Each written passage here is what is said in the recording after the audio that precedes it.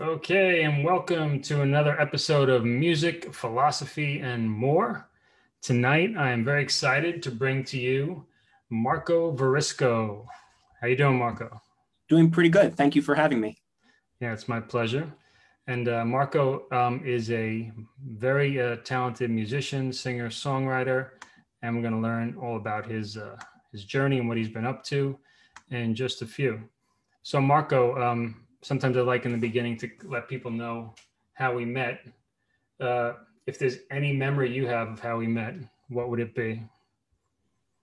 Ooh, uh, I think that really it's a group of memories that I have specific specifically with you because you know it, our memories are going to be a little different because obviously we were in a different age group. Uh, you know, this is coming from my childhood where you know the memories that you have are a child are very surreal and very um, important and and uh, they almost feel like larger than life let's say because they're so important to you know when you develop that you have certain people that uh, that you know influence you and and and you know take you under their wing. And i think that the memories that i have with you all tell me that you know you were exactly that person you know uh, i think the memories that i have is you know going three three blocks down uh, mm-hmm. from where my house is, from where I grew up, and going to the local piano school and you know jamming out with you, and you know the the best of memories.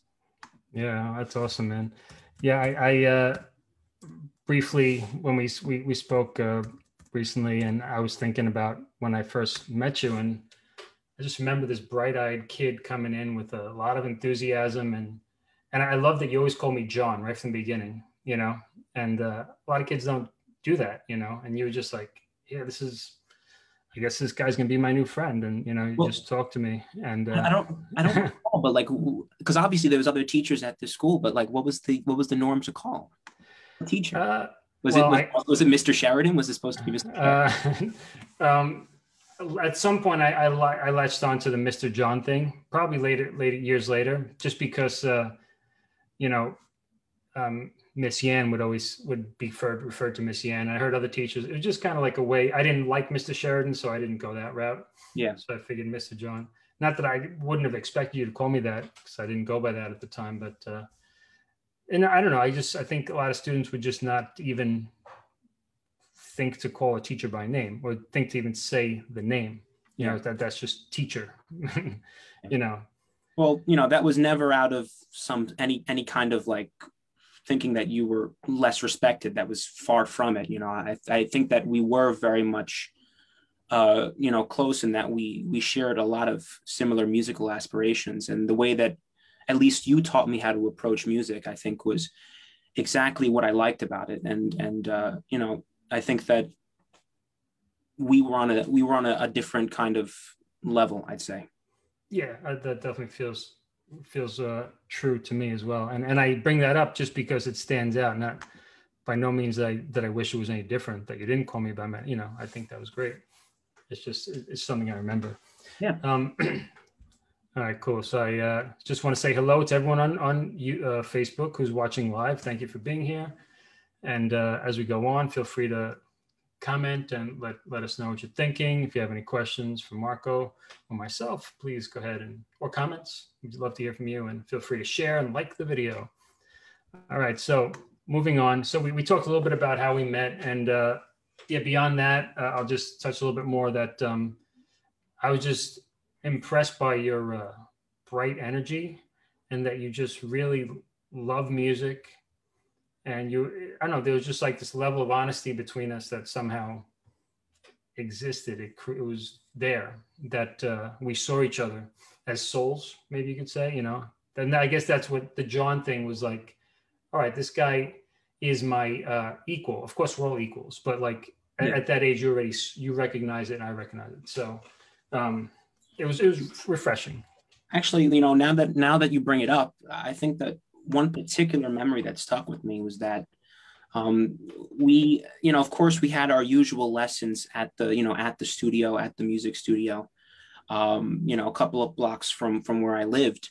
Um, but I just remember this one time. I think I was like getting ready. I was preparing for a concert where I had to do like a, a, a you know a, a, difficult piano piece, and I think that there was one time where you know you you came over my house and you did the lesson there because there was some conflict where you know uh, the schedules didn't meet up. So you said you know what? I'll come a different time. And you know what? You'll i'll come over later in the evening and you know you, just, you stopped by and you did the lesson at my house rather than going to the studio. And i think i remember that time because you know it seemed like it was one of those moments where i don't think with any other teacher that would have been the case. You know you came over i think you you know my mom had like snacks laid out you know gave you a little like a toasted bread with cheese, like a, a super Italian thing. I remember, you know, uh, made you feel welcome. And we just sat by my old, you know, my old uh, upright piano, and we worked on that piece. And uh, that's that's one of the memories I have, and I think that's also very special that we were able to kind of roll with the punches in that sense. Yeah. Oh yeah.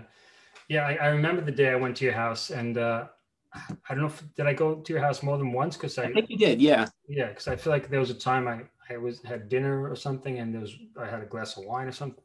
I think oh, so, or lunch. I don't know what it was, but uh, yeah, and uh, yeah, I thought that was that was cool that we were able to just talk as as person to person, and and you know between with your mother's help, of course, coordinating things, and uh, yeah, I, I I just wanted to see you succeed, and I felt that. Uh, and for all my students, I do feel that way, but especially when someone shows this like purity of like uh, intention, you know, and des- desire for music, you know, I, I do want to go at it my way, you know, and uh, you gave me that opportunity and you were that type of person.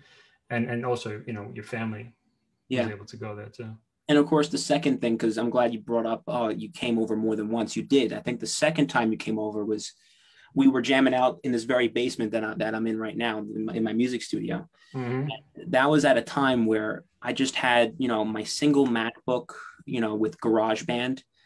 Uh, and I had like maybe one single USB microphone. And what we did, we just recorded anything that we knew, anything we knew. You know, if we both knew a song together, we recorded it together.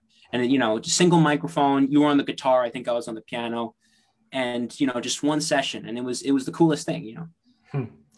Yeah, that that that yeah that that rings a bell. I remember coming downstairs and, and seeing your studio, and I was like, "Wow, this guy's got a studio already." You know, and you know, you were you were a young kid.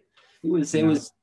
It's not what it's not what it right now. This now I call it a recording studio. Yeah, no, no. I mean, I'm sure you got you're totally decked out for like the real deal now, but just the fact that you had something even approaching a studio at that age was just so exciting. It, it reminded me of myself you know, at, at, at a young age. Of course, whatever our, whatever we're whatever we uh, had at a certain age would be differ because of the era and all that. But uh, yeah, that, that was fun. That well, was fun. You know, John, that was you know that that especially at that time, and it still it still is. But I mean, like it was important then, just as it is now. That that was my life that was my life. You know, the things that I looked forward to, you know, after coming home from school was, you know, uh, coming home and recording a song or working on music. And, uh, you know, it was, it was very, it was a very special journey to learn how to, you know, build, you know, a space to create. And uh, that definitely was um, a really, really uh, long but uh, important process that I think I went through. Yeah, yeah. I, cause I remember those from from my perspective. There were those crucial moments because I met you. I I think we agreed 2006 ish. I, I know I definitely knew you in 2006. Yeah, I think so too. Because I remember, I think I left your house. Actually, funny story. That I left your house from that other meeting when I had a glass of wine or dinner or whatever, mm-hmm. and I went home on the bus. And that day was like the final meeting with my band at the time, Level Six yeah. it was like this like meeting of doom, you know, and like we had to like get together and hope no one killed each other. It was right after coming home from your house that happened, and uh, that was that was like uh, November t- or October 2011. Oh, sorry, 2006. So, so I know at least I knew you at that point. Yeah.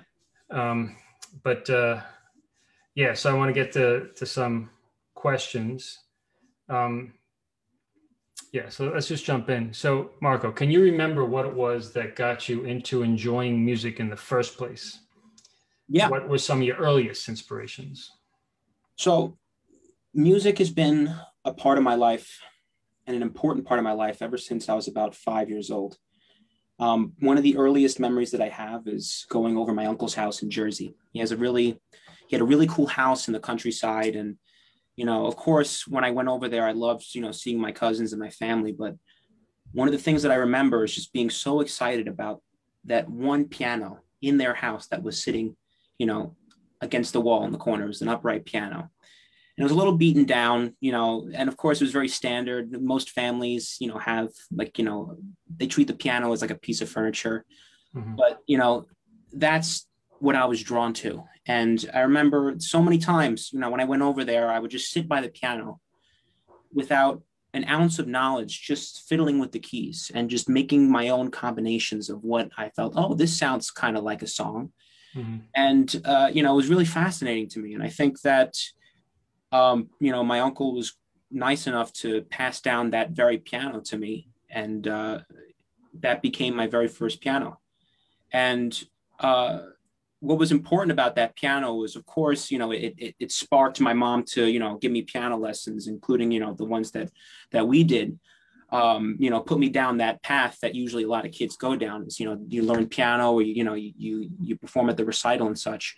What was more important to me about that piano was the fact that I was learning about, I was learning about uh, my ear. I was learning about the fact that if I wanted to learn a song, let's say I heard a song on, on TV, you know, or a musical score, a little tune that I liked, you know, without any without any shred of doubt or or you know, just for enjoyment, I just go by the piano and say, yeah, I kind of want to try to learn this song a little bit. And and somehow without any sheet music you know i'd i'd be able to pick up on it and start you know playing a, a little bit you know and and i think that that was um, around the time where i guess you know i spoke to my mom about this where she said you know this you know this kid has an ear for music. And uh and that that that's that's the big thing. And of course that led me down the path to like you know be in the school band and and you know you know compose music and of course take further lessons and and kind of make that my childhood.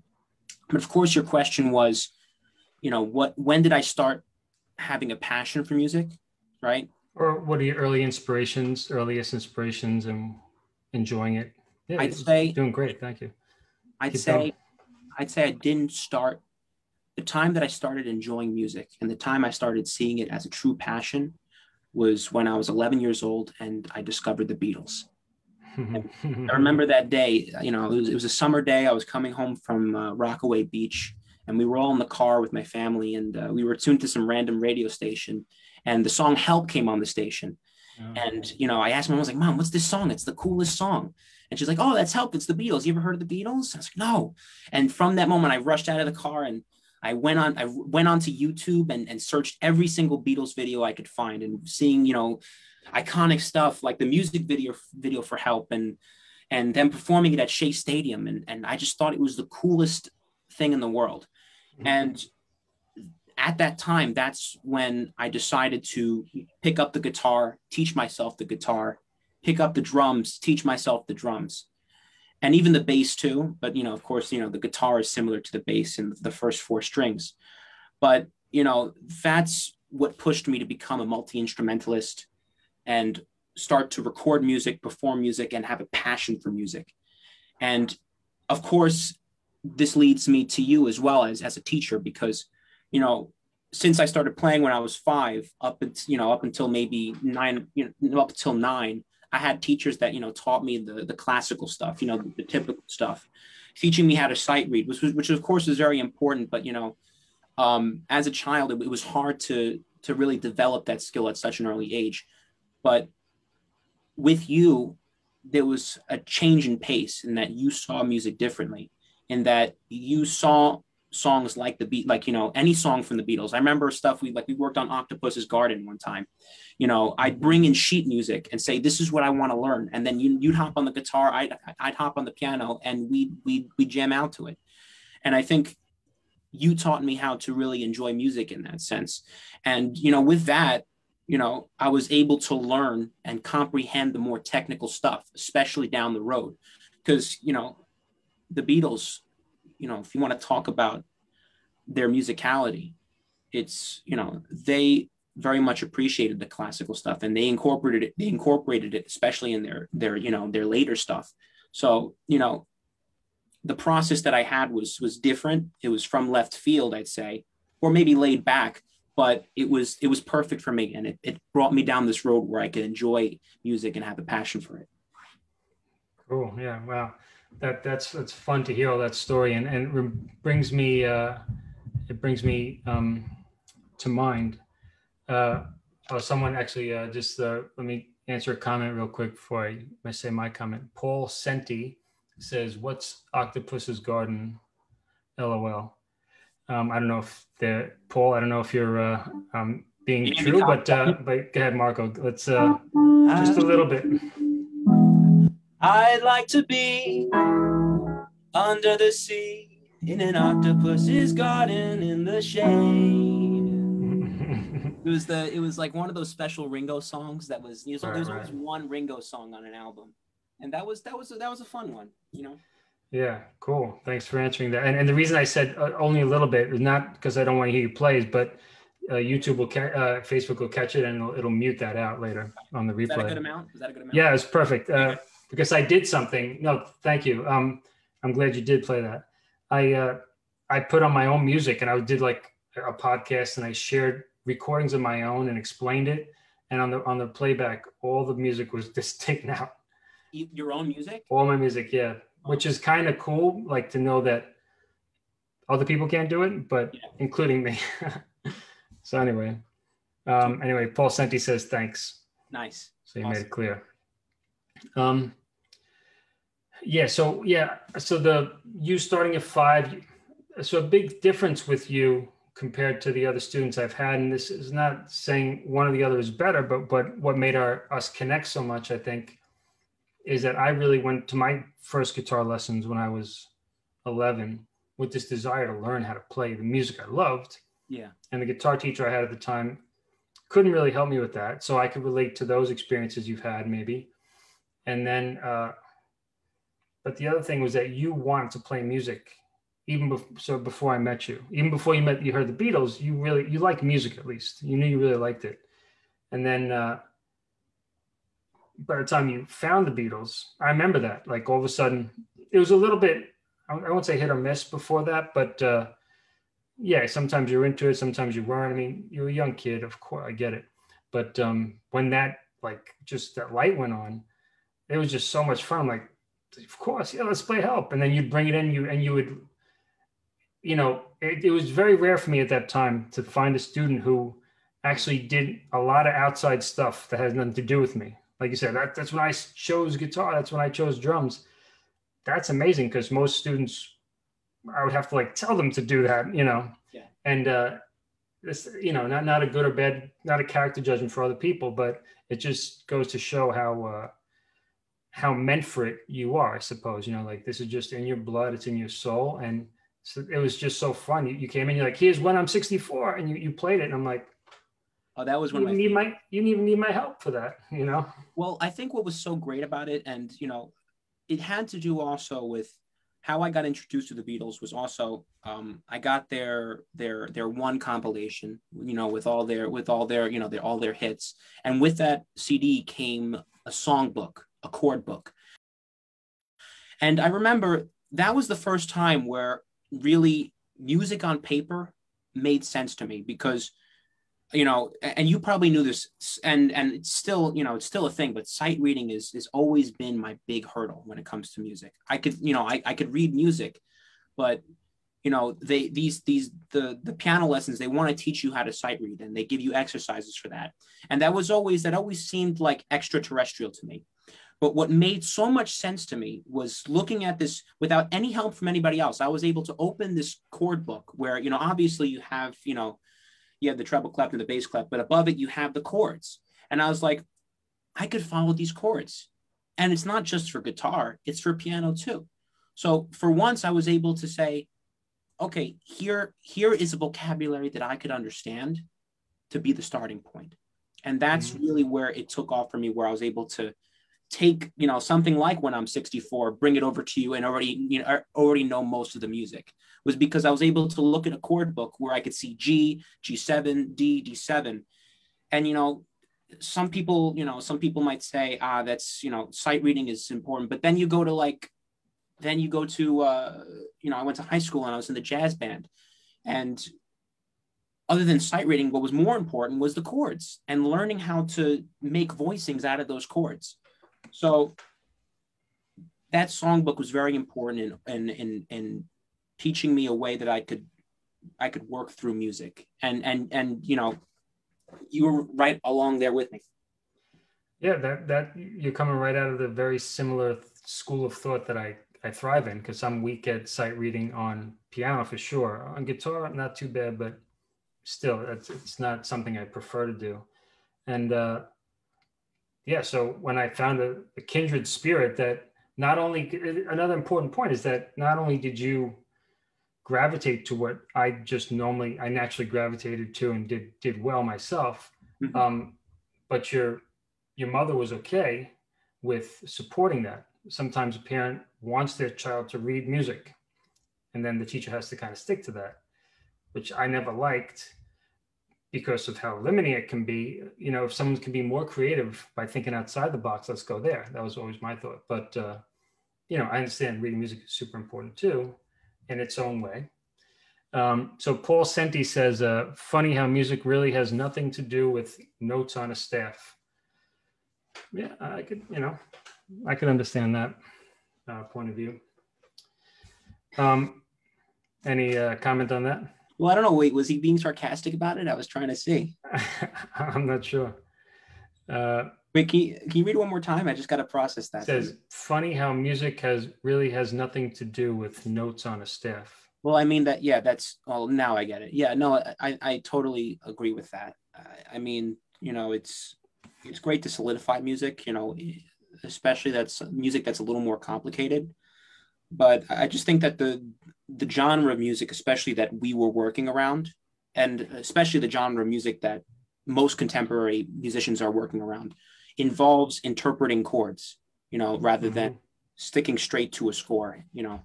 Yeah. Oh yeah. And then Paul says, uh, does Ray Charles care about that? Ray oh yeah. Right. And well, then I, uh, I gotta say, like, I'm glad Paul brought Ray Charles up because he's one of my big influences, especially when it comes to the piano. And yeah, of course, because it still amazes me how that man was able to do the kind of runs that he did blind. Mm-hmm. You know that it, it's amazing and that very true, very true, Paul. And then Darlene Carney shares a play by ear. Yeah, nice. yeah. A lot of people play by ear, um, and a lot of masters played by ear. You know, Jimi Hendrix, from what I know, knew little to no theory and who's mainly playing by ear. Maybe he did know some, I don't know, but I'm sure you could tell he was more of just an intuitive player. Yeah. Uh, so many. Yeah. And when you're creating music, you know, if you're going to be a, a set musician, if you're going to be like a studio musician or, you know, a concert pianist or you're going to be at an orchestra, obviously those skills are so important. You know, sight reading is so important. Um, I think when you're creating music, that's where having an ear is a big plus because mm-hmm. then you're able to really recognize the vocabulary of music and the tropes of music and be able to put the pieces together on your own to make your own thing. Yeah. Oh, yeah. Totally. Um, hmm, I had a, oh, uh, so Ray Charles triggered the memory, but uh, um, the last um, podcast guest I had, uh, Jen, Jennifer Hamady, who's a professional singing coach and therapist, author yeah. now, but she had this um, career as a singer, and uh, she actually had the chance to do backup singing live with uh, Stevie Wonder a few times. Oh wow! So well, that's that, that must have been pretty fun. Not not Ray Charles, but uh, you know, a similarly very soulful and incredible genius of a musician who didn't read any music, right? I mean, like not just in that sense, but like Stevie Wonder, he was he was the he was the band on most of those records. You know, my favorite records of him are are obvi- are Higher Ground and I Wish, and you know, he was very much attuned to that Motown sound.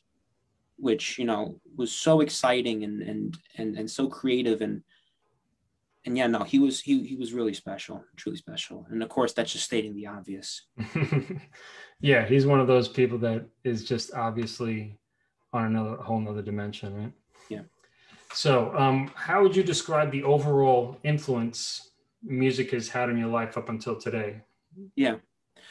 Well, I think two things. Number one, I think that music has inspired me, you know, no different than it inspires anyone else in that you know i listen to music to to to get an emotional reaction to be emotionally stimulated um, you know that's why we all really listen to music is because either we could like attach a memory to it you know either we feel nostalgic about something or it gets us upbeat.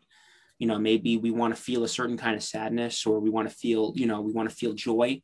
You know we have music for that.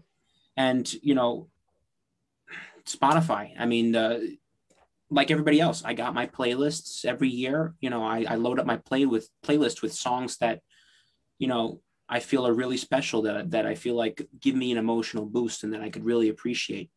Um, a clear example I could give is just I love listening to movie soundtracks on Spotify because that's the the clearest example of being able, able to listen to a piece of music, have an image ready in your head, and being able to feel an emotion based on the sequence that they laid out for you.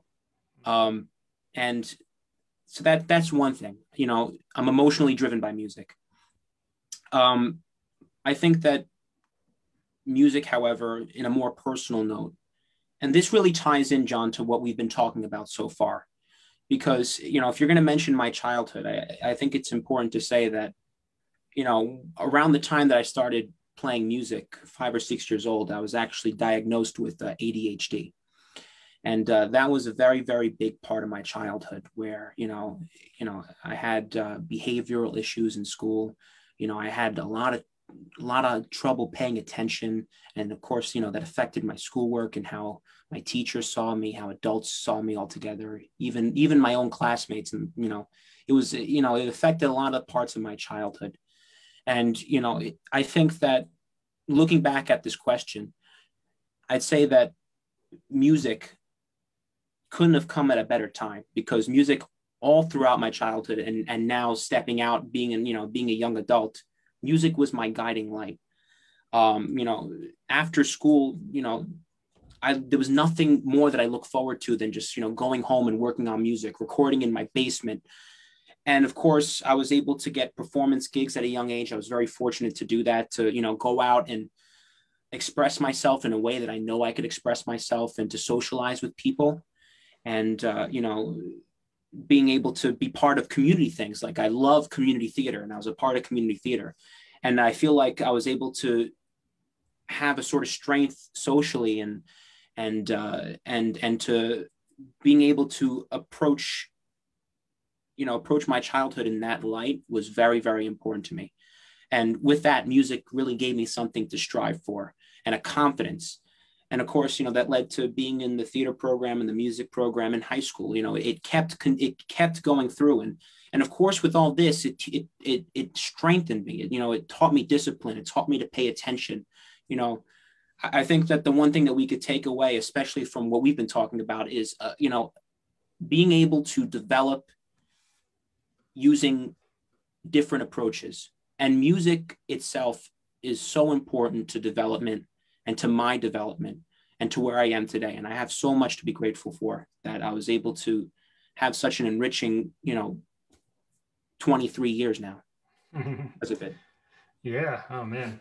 Um, I, yeah, I just, just want to share, bounce back a little bit with that. Um, I do remember that you were going through those, uh, I guess, social issues, uh, developmental issues with uh, ADHD. You know, just vague. I was vaguely aware of it, and but I could see that, you know, music, perhaps because of that, or partly because of that, really became something that you said, okay, I'm going to go for this, and that it truly helped you, and um, that might have been a part of why I, I decided I got to, you know, whatever if you were a challenging student at times, I'm like, I just saw right through that and said, this guy is going to benefit from really um, getting, learning as much about music as he can, you know, and having someone you know who cares about him as a teacher would help too. So you know, I saw that, and uh, and I'm just so happy to that that it, you developed in a way that basically was all that I could ever hope for. That you really took it, you ran with it, you became a healthy young man, an artist. You know, you went to college and uh, performed, and and you very socially, uh, you know, have a socially rich life. Which you know, I guess someone who had ADHD, there might be concerns about that when you're a kid. You know, for parental concerns and stuff. So, yeah, I remember seeing that, and, and that's uh, just reflecting back a little bit, you know. And uh, you know, it was all about the process. I mean, and this is like one of the things I, I ask myself: Can I ever be a music teacher? Because the amount of patience that you have to have, because you know, I, I think that I think that uh, my my piano skills at the time were you know pretty decent for my age but what was most important was that you know you didn't give up on me it was about the process it was about you know i remember you told me you know when we were talking a little earlier was um, you said that if something didn't stick if uh, if uh, if if, uh, if we were working on something and you know I, it wasn't working out for me you know you moved on you made the decision to say okay it's about it's not about sticking to you know learning a piece and being strict about it but just to go through a process and i think that was very important Thank you. Thank you for recognizing that. And on that note, um, I don't know if you've changed your mind since a week ago or two weeks ago, but you said, I don't know if I could be a teacher. It requires so much patience, but I really get the sense you'd be an amazing teacher. Not that you should be. I'm not saying you should or shouldn't, but should it happen naturally, I'm, I'm sure you'd be an amazing teacher. Well, well, thank you.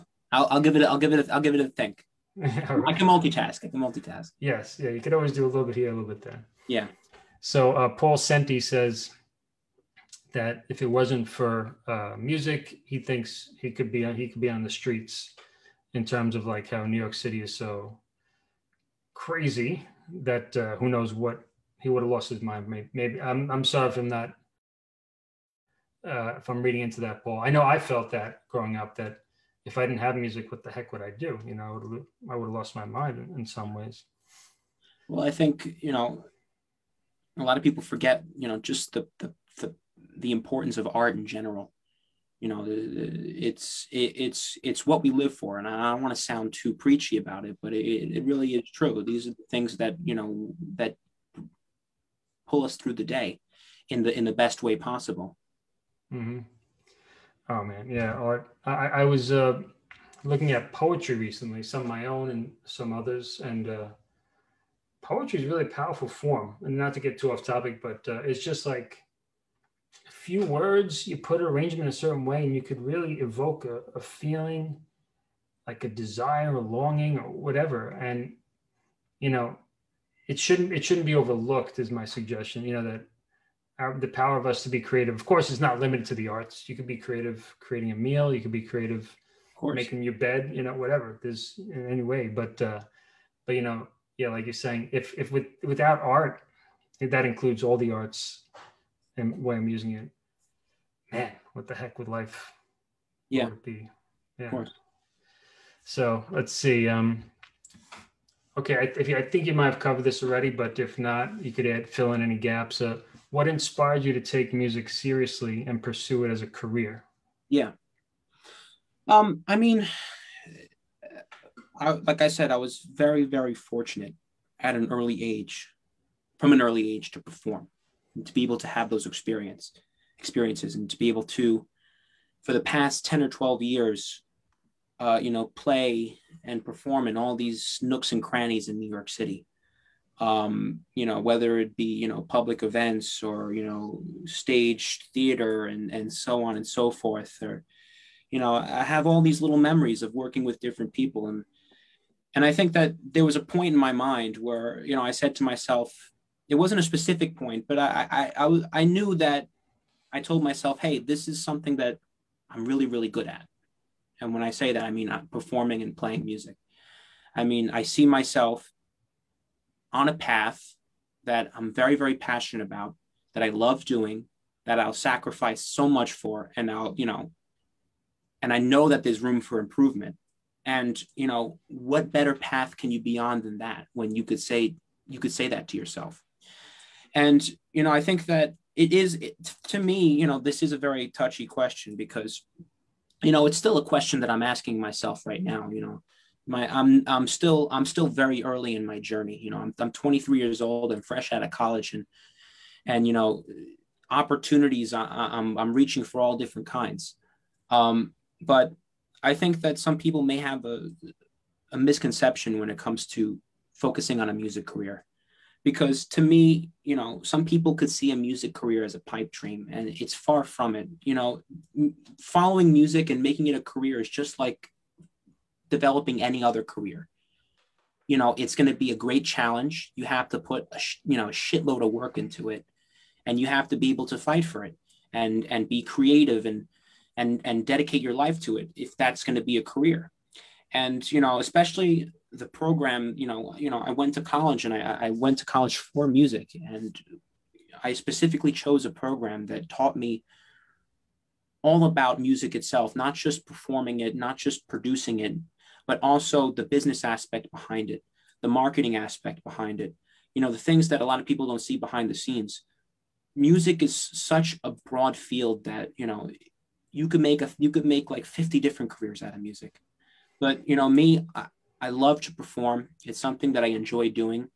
You know, I I have my own setup and my, my plan is simple. It's always simple when performing. You know, I, I haul my seven, you know, my my 70 pound you know bags of equipment my guitar my piano my speakers i haul it to some place where i can perform i set it up i perform i make tips and you know i meet a few people make some connections inspire some few people pack up and then i start you know i start on the next time you know it, it's as simple as that you know it's and of course i've been very fortunate to show signs that i'm that i that i can do this you know i've, I've had performance gigs you know for quite a long time and those things build up and you just have to keep working at it so I hope that answered your question. Yeah, uh, yeah. I just realized how how happy I am that uh, uh, kind of my own maturity that I'm willing to. How can I say this the right way? I'm just so glad I have a young person like you. There's two points here that is willing to courageously stand up and really just speak confidently about what you're doing. Yeah. That's wonderful and I'm I'm proud of myself that I'm willing that I was able to reach out and say, hey, you want to do this? Because um, I guess there's a little bit of overcoming my own ego to say, let's hear from from younger people, all people. I don't know. I, I just want to be frank about that, and because I'm just so glad that you are doing what you're doing, and I'm glad this conversation is public so people can hear about it. Yeah. You know, I think that's essentially what I'm getting at. I'm, I'm glad we made it happen. Yeah, of course. Um, and uh, we have a comment from Brazil. Oh, wow. Yeah. Raimundo Carlos Salitão says, Very good. I love that. Hug from Brazil. And that was when you were talking about uh, carrying your equipment, just do the gig and come back and do it again. He a big hug back. A big hug back. Thank you so much. Big hug back, Raimundo. Abrazo, amigo. So, yeah, actually, uh, Raimundo, I have to tell you that uh, uh, Marco was actually uh, a crucial factor, uh, a key player in us going to Brazil because he helped at a fundraising event for us to raise money to go to Brazil. And he, he was a performer. So again, John, you know, the trust that you had in me to say, "Hey, we're having this gig. You know, you know, it's to raise money. Come on stage and perform with us. You know, you perform your songs, but you'll also perform with us." And I remember that day. It was a you know, it was uh, a really great evening. You know, you had your guitar, you know, a couple other of your bandmates, and you know, you had a drum set with uh, with some with some brushes. You know, like mm-hmm. I mean, like a, just a snare drum and brushes, and that was the rhythm section. And you know, just just just to the it was just the meat and potatoes of, of enjoying music, and and and it was a great night. I remember, I still remember it and I still remember saying goodbye to you. And it was very, it was, it was, it was, it was hard saying goodbye. It really was. It, you know, it was, um, but I was very happy for you too. Yeah, I see. I remember that now. That I felt. Uh, I don't know if guilty is the right word, but I felt sad. Like, hey, that's life does that to people. You know, sometimes relationships end for for a time, or they end permanently, or whatever. And ours, you know, naturally, you were going to focus on your life, young life at the time, and and I had a new mission, and uh, fortunately we kept in touch one way or the other, uh, even if even if distantly, and then now reconnected here. So uh, yeah. It, but I think it was also now that I'm thinking about it, now that it's brought up, I think it was also really cool to have a mentor and I do consider you one of my mentors that I've had, you know, music wise, a mentor that was able to make a decision and say, I'm traveling the world. I'm going here and I'm going there. I believe you went to, you also went to India, right? As well. Mm-hmm. Yeah. Yeah. Those, those things stuck in my mind and it said, wow, this is, you know, and uh, I think that's just as important to be able to, you know, like I said, I was very happy that you were doing that. It was, it was really cool to see. Mm-hmm. Yeah. Yeah thank you. And i remember um, like amidst that this was what i had to what i felt my soul was calling me. And i did feel like i said felt a little bit sad or bad. I don't know what the right word is but for for the few people such as yourself who i would like to have been around for continue to have been around for at that time but you know life life calls and uh, you'll see in your life when that those type of things may happen. Yeah. Um, but uh, yeah and i did sense your support even if even if it was hard for you and uh, your mother's support, and it was was really appreciated. Hmm. Um, and Paul Senti, oh, Paul Senti, um, who was commenting before, uh, says, uh, um, "I played Brazil once," and then he uh, he put a video to his band playing Brazil. Yeah, his band, uh, Dirty Mother Nation, um, was a band that I was performing alongside. Our bands were performing in the New York club scene at the same era. Uh, they they went a little bit longer after we broke up, but uh, yeah. I, Paul, you from Paul? You from Bensonhurst? Because Marco's a Bensonhurst Bath Beach guy. I don't know exactly where you located. Anyway, love, love to connect. It would be really great. And, you know, he's been he's been really invested in this podcast. yeah, Paul. No, I only I only you know I only know one Brazilian song. Actually, I, I once once in a while, uh, you know, it's I I pop it on my Spotify playlist. It's um from the the group I think Brazil sixty six, uh, Mas Que Nada. It's it's mm-hmm. like in mm-hmm. all the it's all like it's in all the TV. You know the.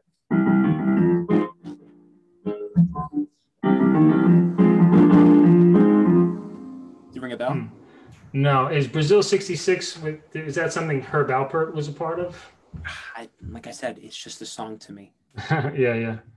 Um, oh man, yeah. I, I played, uh, learned a lot. Not that many, but quite a few Brazilian songs. I, I recorded one. It's up on Spotify. It's the one that does best on Spotify for me, whatever reason. It's the Portuguese version, Brazilian Portuguese version of uh, "Knocking on Heaven's Door." Oh yeah, yeah. Great. um, all right. So um, I visited your website and as well as your social media, and I've listened to your music, quite a lot of it, um, or on repeat, you know, and in the past uh, couple weeks, but also, you know, even before, whenever something something's released, I would check it out. Yeah. It's very polished, uh, well written, catchy.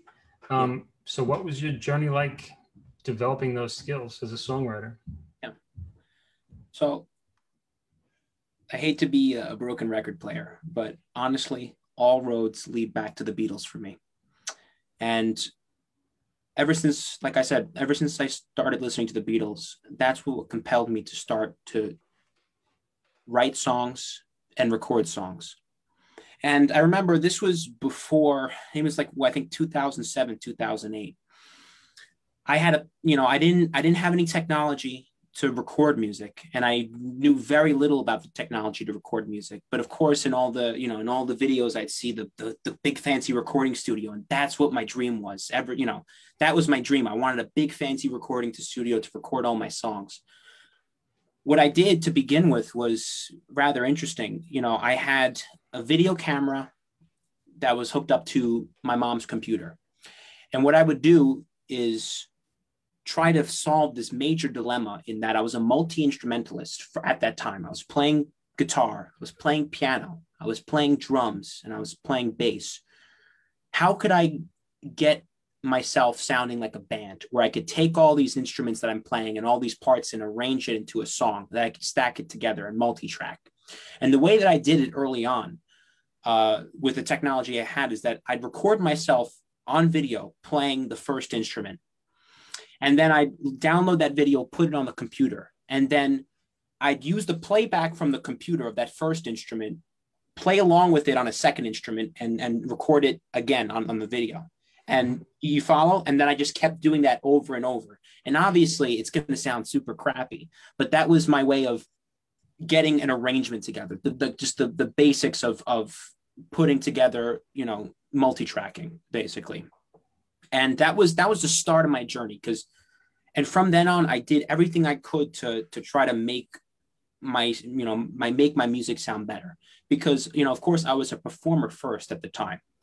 Uh, you know, I performed music. That's all I knew.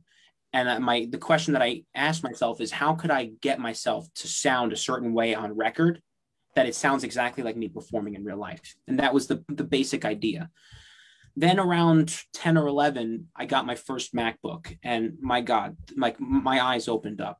Uh, you know i had garageband and wow i could record one part and then i could record another part and then another part without having to do that thing that i did with the video camera. I could just multi-track however i want.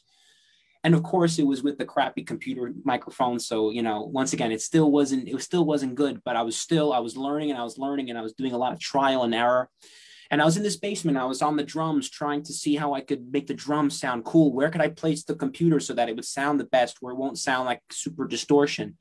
And I try, you know, I'd song, I'd write different songs that were so campy, and you know, obviously they were very, very childish back then. But you know, it was a process. Um, but with that, every Christmas and every birthday, was a step forward because you know obviously all i had was my allowance and the good graces of my parents that you know god bless them. They they really they were part of this journey for me and i have so much to thank but you know they i'd get a guitar for christmas and an electric guitar for christmas. Great now i have an electric guitar. Now i can record more of a rock sound. Uh, i got an amplifier for christmas you know so it kept it kept building up until of course i i financed my own stuff and, and continued on. And you know this is what it's led up to where I have this, you know, this really great recording space now. Where as you can see, I got my Rokit 5 speakers, I got my soundboard here, you know, my piano, my my microphone, my Neumann microphone, um, microphone, microphone. Um, and now like I've I've I, I know I've got, you know, what I need to record uh, and and achieve that thing where I'm I'm performing I'm recorded exactly how I sound performing. And of course, being part of my program at NYU was when just things exploded for me. Because remember when I told you about that dream where all I wanted to do was just be in a big recording studio recording all my songs? Mm-hmm. I finally got to do that. I got to be in a program for four years where I could have access to the top notch equipment, you know, soundboards, you know, uh, you know, 20 different guitars that I get to choose from, you know, microphones that, you know, and, you know, I was, I was like in a can, I was in a candy store, honestly. And I was able to work on my craft 24 seven at my program and, and work in a recording studio, you know, like I saw my idols do, like I saw the Beatles do, like I saw, you know, and that's when, you know, I, I knew that I had so much more to learn and, and it led me here where I have the best of both worlds where I know how to function at a recording studio, but also it was that time early on doing the trial and error, working with smaller amounts of equipment to make the best sound. And, and the best of both worlds of being at home and recording at home and being in a studio, I feel like that, that it's a, it's a good marriage for me right now. Mm-hmm. Songwriting wise, you know, the only thing I could say about my journey for songwriting is that the more that I opened myself up to different influences and different genres, and the more that I wrote was this how you know how I became stronger and stronger as a songwriter. Um, you know, I, I'm, I'm I think I'd safe in saying that every song that I've recorded so far and every song that I've written so far, I could say, wow, this is actually kind of better than the one I wrote before, and that's a really great path to be on. Um, so yeah, that's that's that's my journey so far. Yeah, awesome. That, that's so fun. I, I think uh, it's funny hearing your journey reminds me of my own, reminds me of people, some other people I know, but yours is the only one I've heard so far that's really in this more modern era, right? So like you were doing it with computers mm-hmm. and uh, like a camera and uh, and then recording your drums with moving a MacBook around. Yeah. So, uh, I, I, I remember the, you're, it's, it seems like you're, you're much more of a producer, recording engineer than I am, although, but I've had quite a bit of that experience too. Mm-hmm. Um, and the very first time I recorded myself was similar to your story. It was the blizzard of 96. Mhm. I wrote a song called Dark Winter. Oh wow. And uh, it's uh, it's quite a song. And um, I had these tracks in my head, and all I had was something called a Singalodian uh, karaoke machine. Mhm. So with that, I basically I recorded and, and some microphones and general stuff for a band. I recorded myself singing the song. Then I played it back, I guess loud or something. I don't remember what.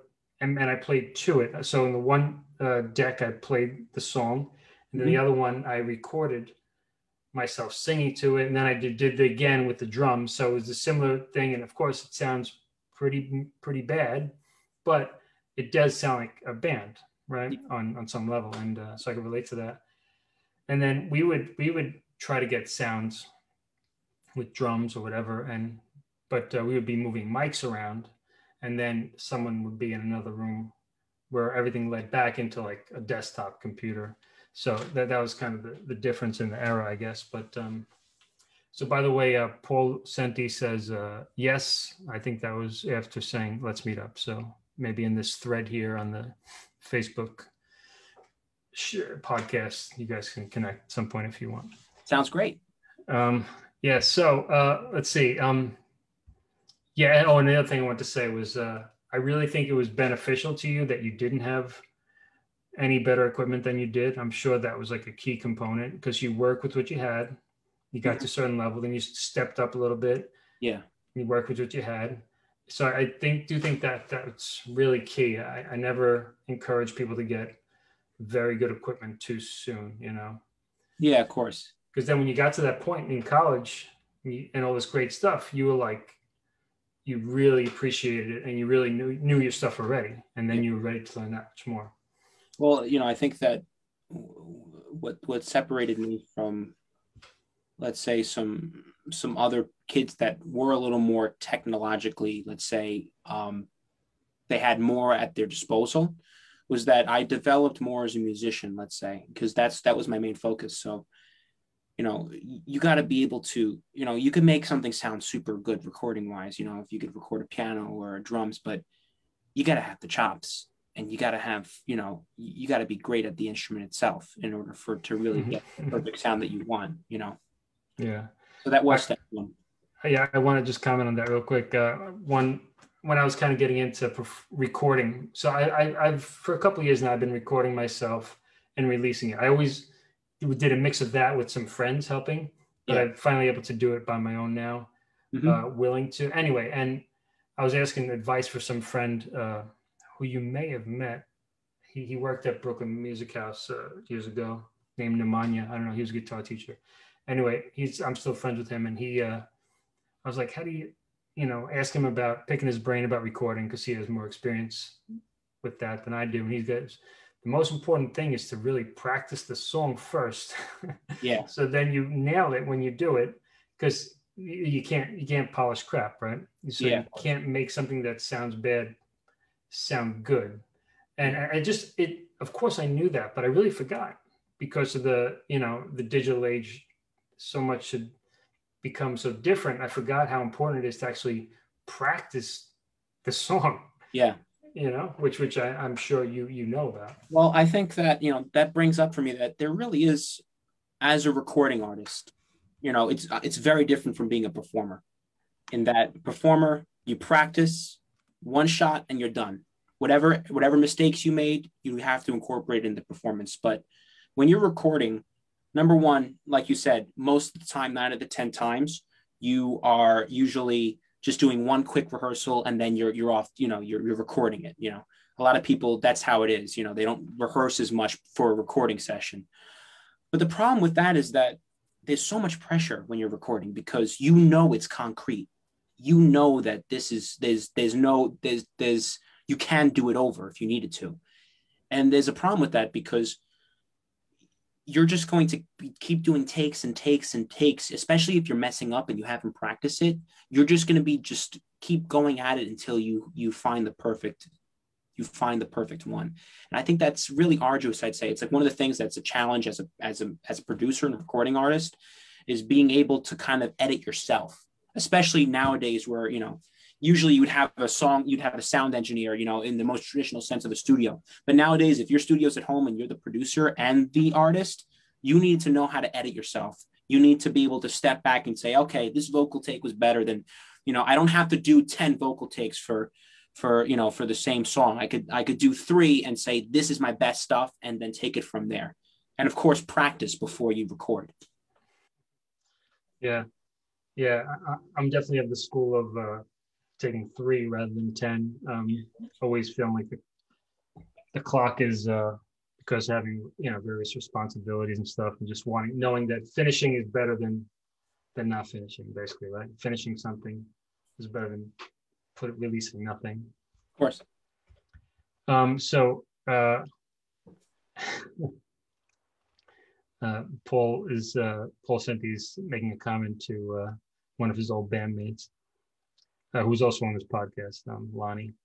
Uh-huh. Um, so he's uh, cracking a joke here. Uh, so I understand that um, you've studied music at the Clive Davis Institute and uh, at NYU. What was your main focus there? So, like, was there? You would tell me a, a little bit about it, but was it was there a particular major name that that you had? Uh, like uh, when I went to school, I, I studied. Um, I had a my degree was in uh, music composition. So my major was music composition. What was your major, if there was one? So, uh, number one, it's it's it's a bachelor in fine arts, and I think that just the major itself is called recorded music. And I'd say my focus was to answer your question. It was music production and performance.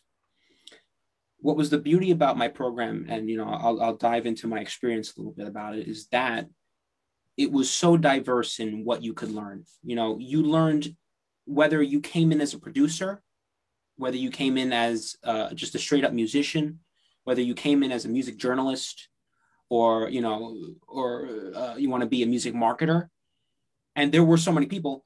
You had to learn everything. You had to learn it. So the first two years of the program was you had to take music marketing. You had to take uh, producing the record. You had to take engineering the record uh, you know, you had to take uh, music history classes, specifically even pop history classes, which I felt like was uh, just mind blowing because that's so important. You know, music in the past 50 to 100 years in America is so important to learn about.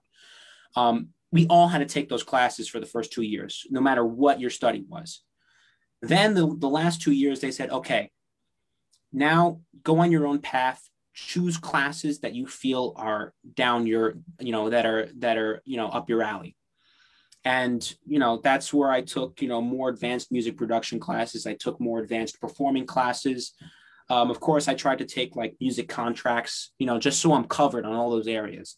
But that was the beauty of my program was that you know i was able to learn you know of course obviously music theory as well you know composition super important.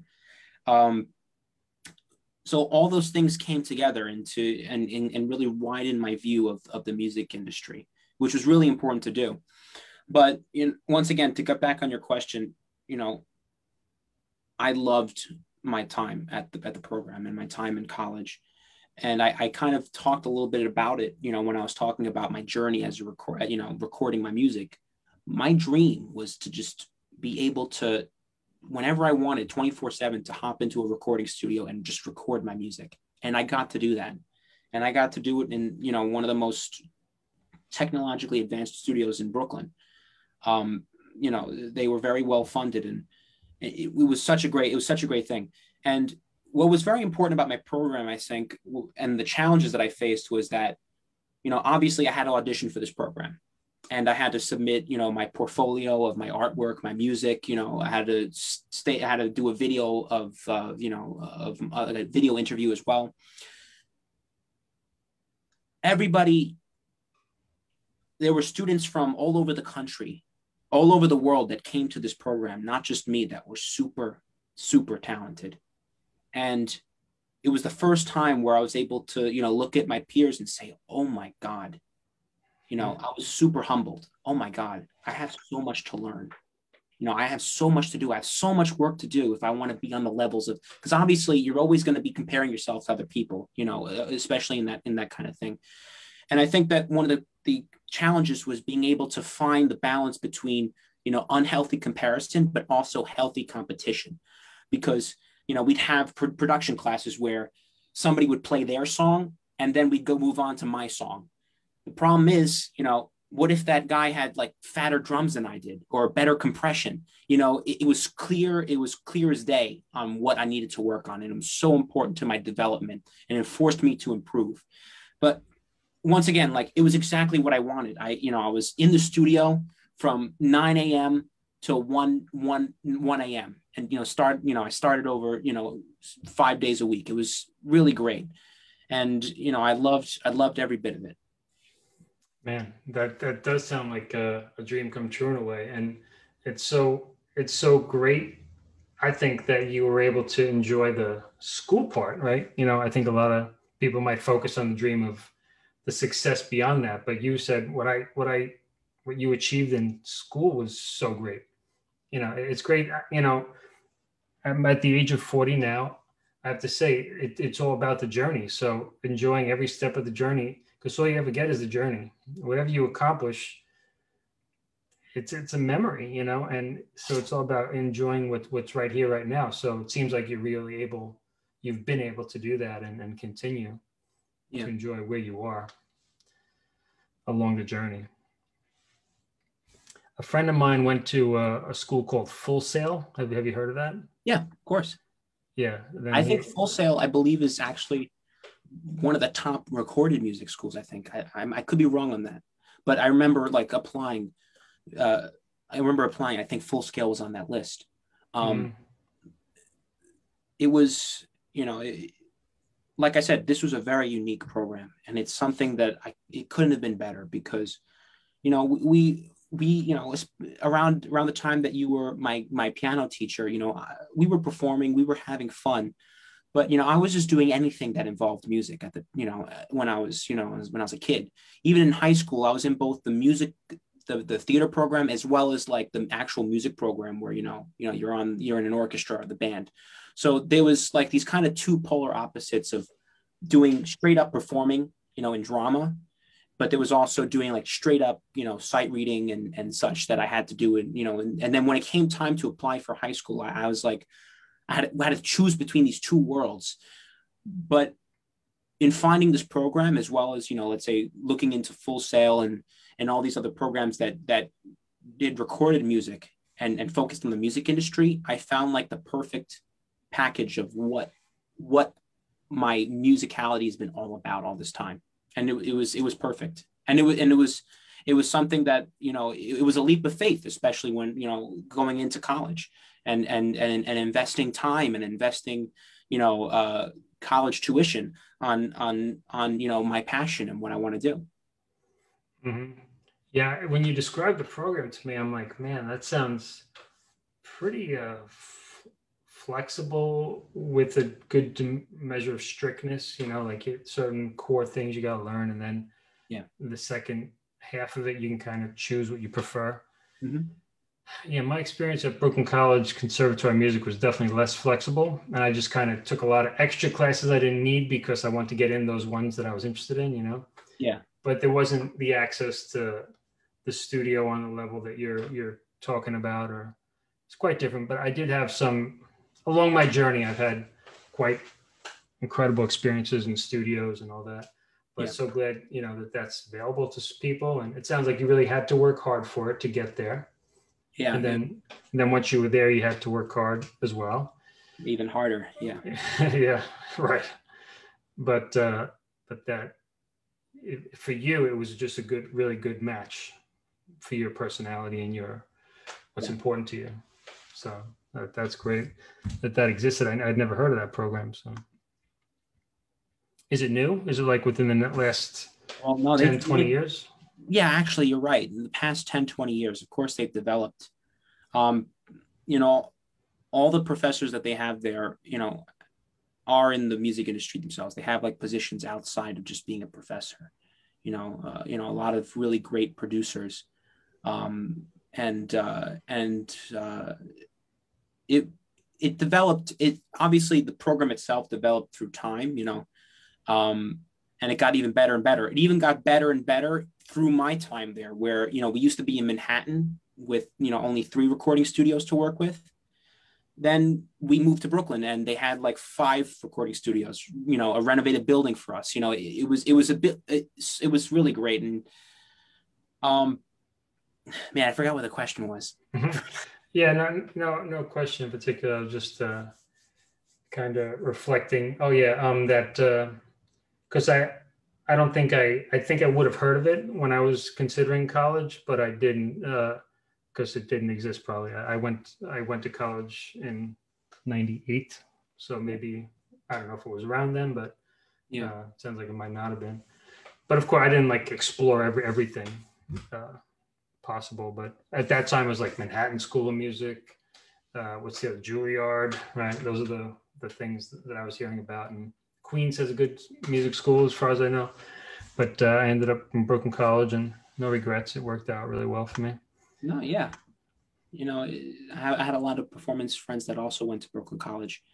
And, uh, you know, I try to be careful about talking about my college experience because obviously, like, NYU has, uh, you know, sometimes when you say, oh, I went to NYU, oh, I went to this program where I had all this great equipment and it was well funded and everything. Sometimes it could sound a little like, uh, like you're a little, uh, what do you call? Like, uh, like you're like you're boasting a little bit. I don't know if that's the right word, but you're kind of like gloating about your experiences. That's like far from it. You know, I think that what was funny was that, you know, next to NYU was this this college called the New School, which also had a super great music program. And it was like much smaller than NYU, but yet the best, you know, the best collaborations that I had musically was connecting with those new school people. You know, it's not about the education. Education is the important is, is important, but what was more important about everybody's college experience is the people that you connect with and the the experiences of what what what you latch onto.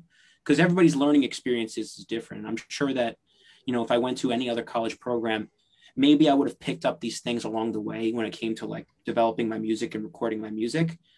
But I think that I was very lucky to to have a really really great package.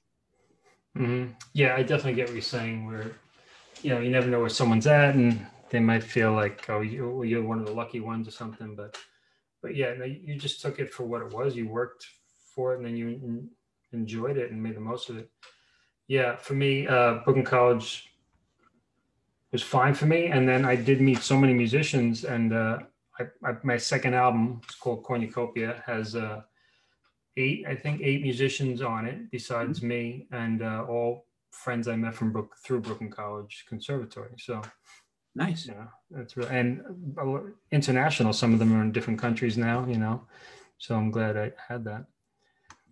So, um, how has your tastes and perspectives relating to music shifted and evolved over the years? Yeah. Uh, to answer that question, going back to uh, recorded music specifically, I, I, if you recall what I said, I said that my major goal for the longest time was taking the music that I performed and, you know, putting it digitally, recording it, and making it sound just like the live performance. That was my goal for, you know, the longest time.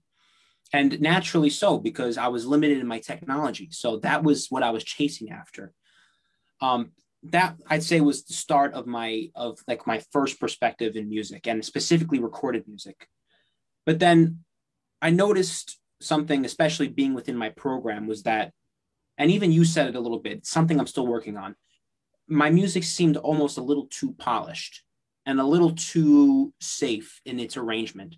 Because once again, I'm all about piano, guitar, drums, and bass, you know, the, the, the, the essentials of what most contemporary music is about. But you can't ignore the fact that music, especially contemporary music, especially pop music, has really evolved beyond that. And not so much in the change in instrumentation, but also the change in approach in that you you when you're recording music, you're not necessarily searching for perfection.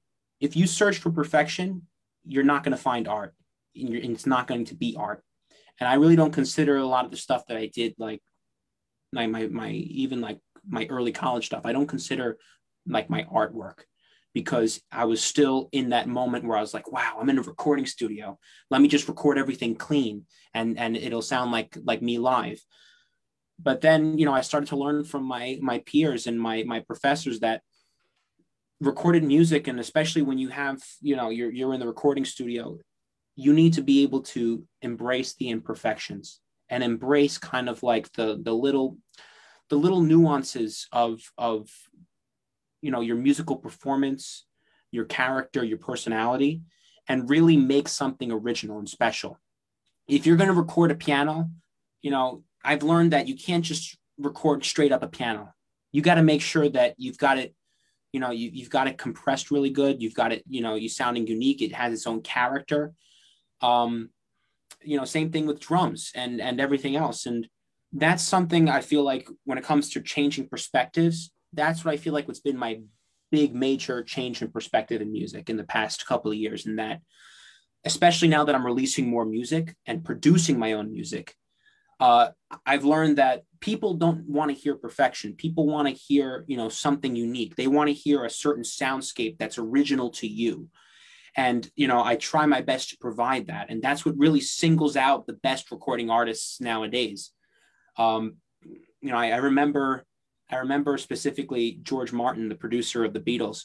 I read his biography and he said that he was never a stickler about tuning instruments because if one thing was out of tune, that made it that that made it stand out in the in the arrangement and you could be able to single it out and it was interesting as a listener to hear it.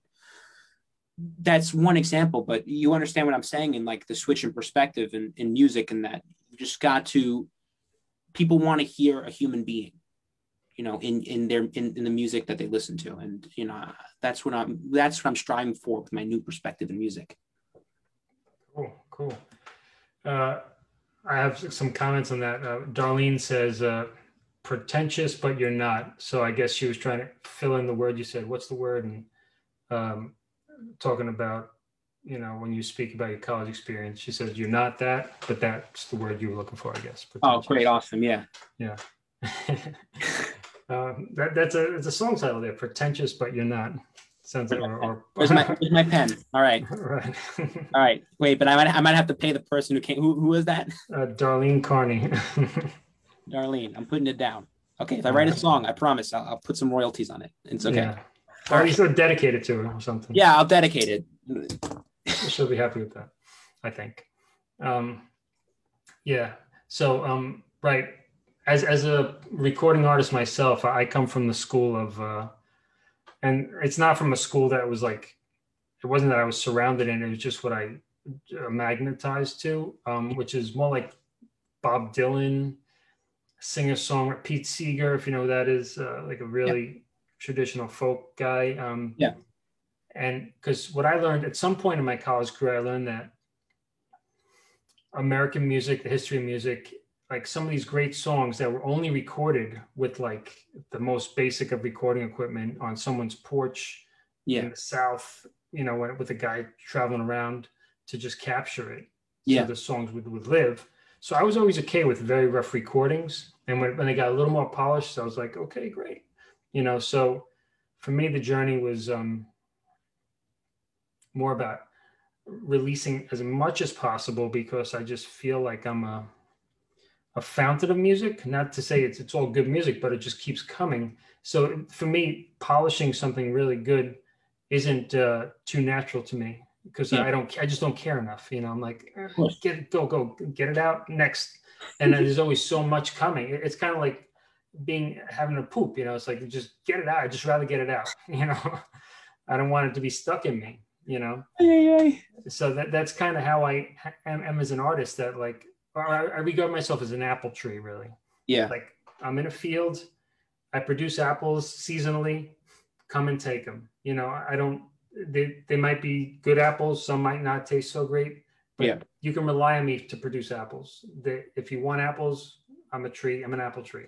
You know, like that's kind of how I see myself. And never too concerned with it being too in time. And I mean, now everything's metronomic, but as I was younger, the timing or the tuning, I could live with it. Like you said, it's, it's really about the character. I, I didn't know that about uh, George Martin, but it makes sense. A lot of Beatles stuff, certainly the 60s in general, didn't sound that in tune. You know, they didn't have uh, snark tuners, of course, around that time, yeah.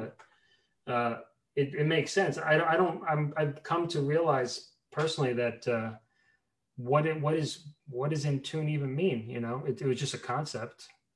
And uh, on a, some level, you know, like to uh, detune something a little bit might be a sound that some, someone or many people are attracted to. I do it. I do. I do it all the time. You know, like I said on my pianos, I like to detune a little bit because it kind of gives it that kind of like old folky sound, kind of like how my first piano sounded. You know, I, I remember one tuner that I had called my piano a toy, which it probably was maybe my first piano, but it had such a unique sound to it. But like I could, John, I could really relate to what you're saying because when it comes to like just get it out, just release it. You know, get, don't don't spend too much time on the song. You know, there there are so many songs that I've had on the back burner that I've overcooked too much that now it's like I don't know what to do with it because you got to be careful with the amount of connection and the kind of emotional connection that you and the obsession that you have with your work that you know it's not going to be perfect.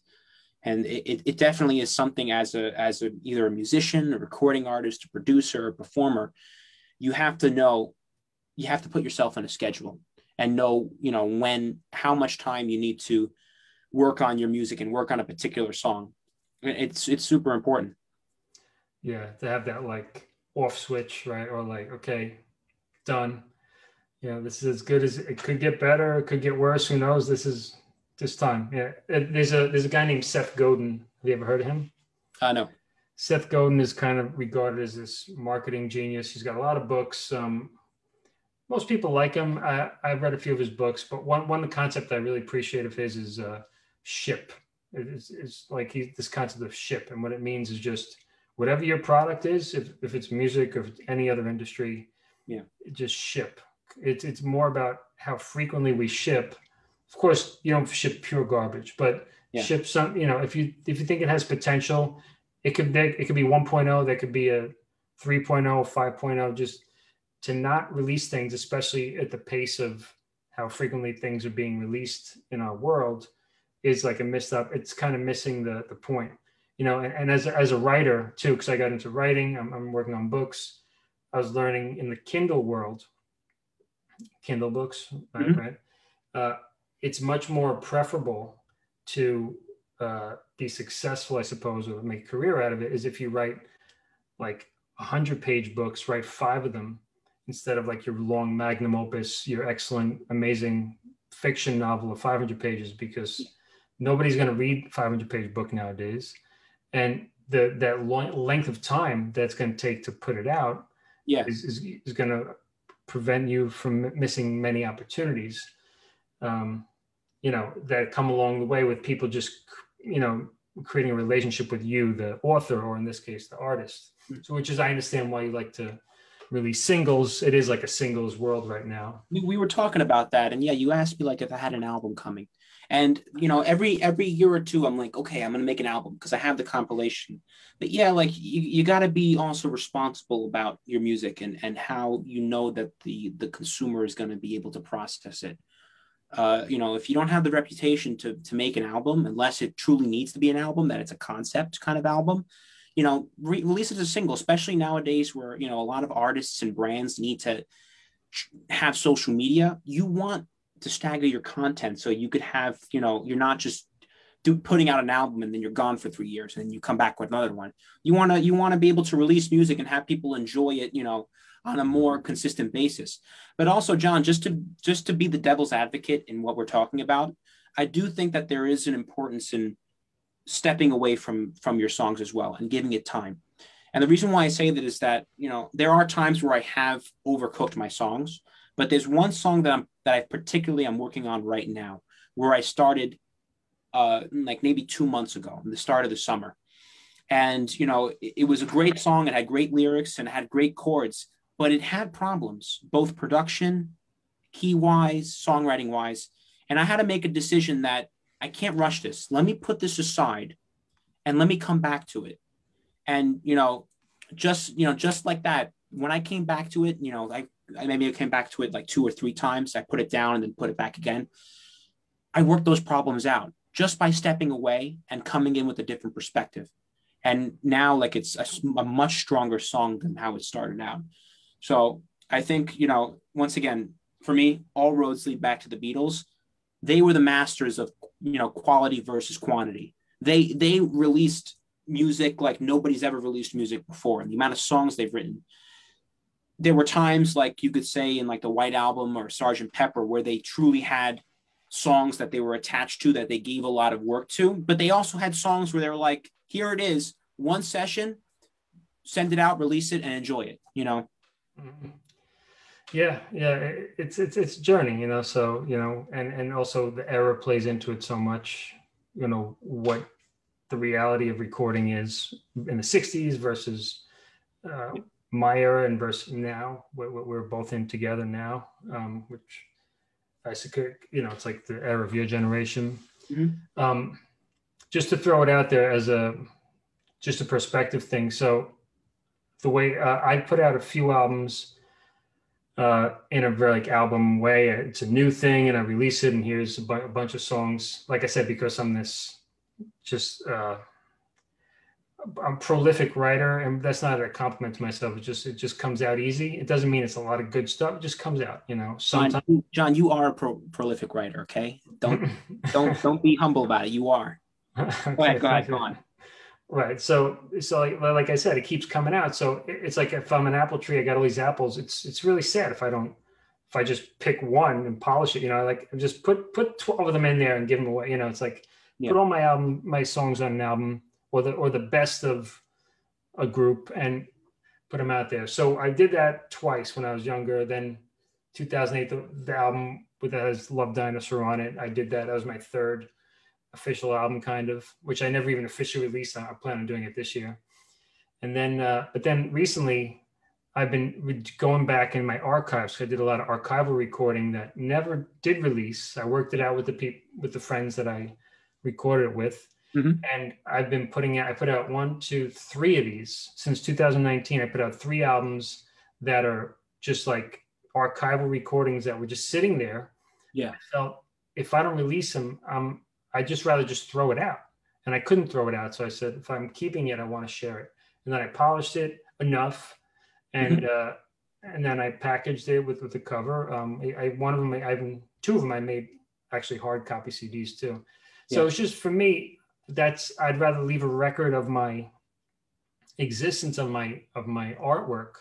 Yeah. Uh, over building myself as a you know uh, an artist that people are gonna flock to. It, for, for me, it just doesn't matter so much. You know, yeah. if people like it, they like it. I'm gonna keep creating it, mm-hmm. and of course, there will be people who like it, but it's not the most sensible or you know by no means the, the, the recommended way to release things but that's how i go about it you know well you know i, I might just take a, a page out of your book because like i'm the same way i do have like so much stuff you know in the archives that I would love to just get out there because it, it serves a purpose somewhere, you know, and, and it's not everything's going to be perfect. And, you know, even in my program, there were, you know, there were, you know, colleagues that I had that were releasing music on certain sites, like they were releasing music on more, uh, let's say underground sites or like experimental sites like SoundCloud rather than full on Spotify and Apple Music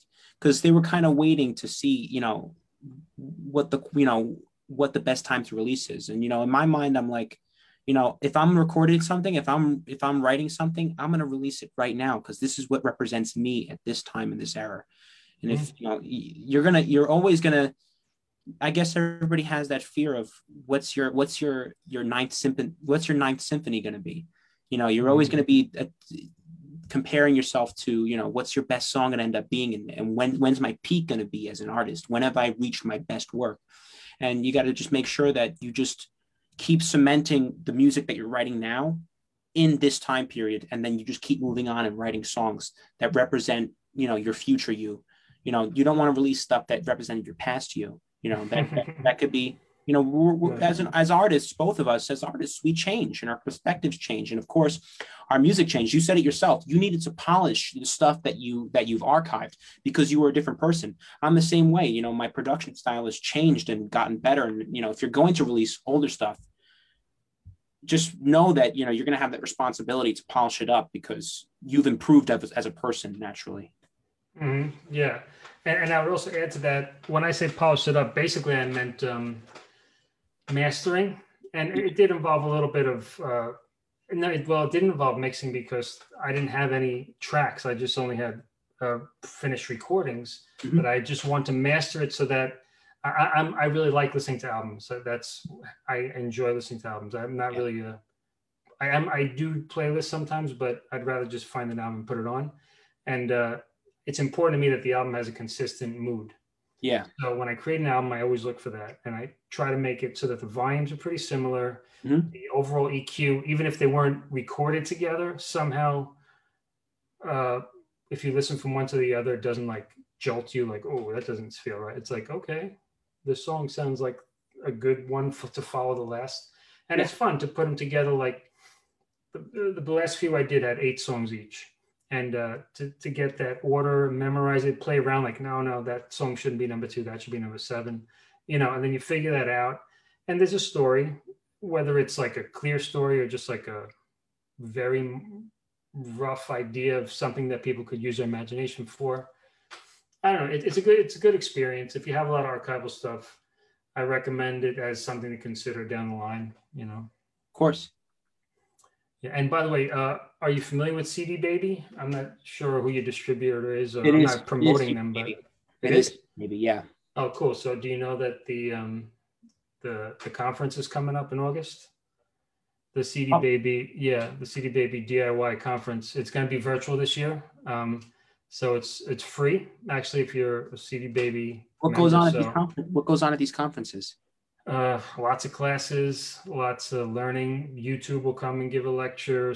Um, Spotify will give a lecture. Uh, people who are maybe doing song, uh, doing music for film will come yeah. and you learn how to get into that and, and uh, pitching songs, uh, how to use Instagram and Facebook most effectively, ads and whatever the changing marketplace is, like I went to CD Baby conference in Austin, uh, 2019, and then in uh, 2017 in, in, Nashville, and they were just really rich. Uh, when you talk about your college experience, remind me a little bit of that, like just around a lot of healthy competitive energy. Yeah. You know, like young, uh, not necessarily young. A lot of we were young, some were older. Uh, people DIY guys. You're a DIY guy, you know, and I definitely recommend going to, especially if you're a uh, belong to CD Baby already. I definitely would love to do that. You know, I, I've taken every opportunity to continue to learn, and, and that would be really great. I hope, I hope that they do. They eventually do one in person too. That would be really great. Now that we're talking about CD Baby, honestly, and and and we've talked about Spotify too, I think going back to like the perspectives in music, I think that it I come from a very special generation where I've had two different worlds when it comes to music, when it's come when it when it came to music. Because when you know when I was 10 years old and I started really appreciating music, that was the time of you know iPods were the thing, you know, uh, music. Each song costed 99 cents on iTunes. That was the main thing. You were on iTunes and you bought the music you like, and you paid a, a, a single price for each individual unit that you bought and with that you know your your your your musical uh, what do you call your musical collection was very limited and your and even your your uh, your influences and and and what you were capable of of listening to was very limited because it had a, an economic price to it based on how many songs you bought and listened to and of course the same thing goes for like a cd or a record you know there's nothing different that was just but still even though it was digital, it was a concrete product that you bought every time. And at that time, I said to myself, "Oh my God! Like if I could release my music to for everybody to to see and hear, that would be like that would be heaven on earth." You know, it didn't occur to me that I would have been able to, unless I was signed by a record label, that I would have had music released that anybody could hear.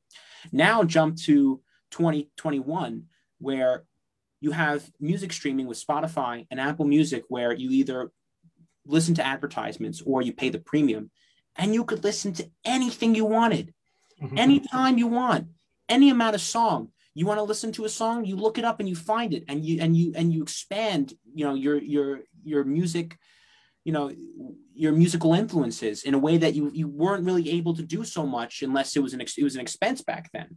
And the same thing with cd baby. Like now i can release music without being attached to a record label. I can release music and and and have it showcased on a platform that's the same as as you know the big the, the, the big people upstairs you know like you know the, the the main people that are on the charts. That's something truly special.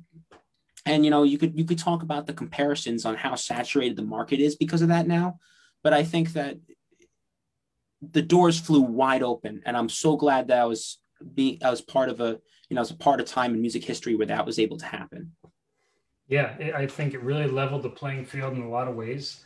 And what I discovered at these conferences and being with CD Baby for a number of years now is is really up to each each uh, person's efforts. You know, if you work hard, you work, I guess, smart, uh, or, or, the way that's most natural to you, and and you just keep on showing up authentically and uh, you know being uh, your real self, but but doing the work. Um, yeah.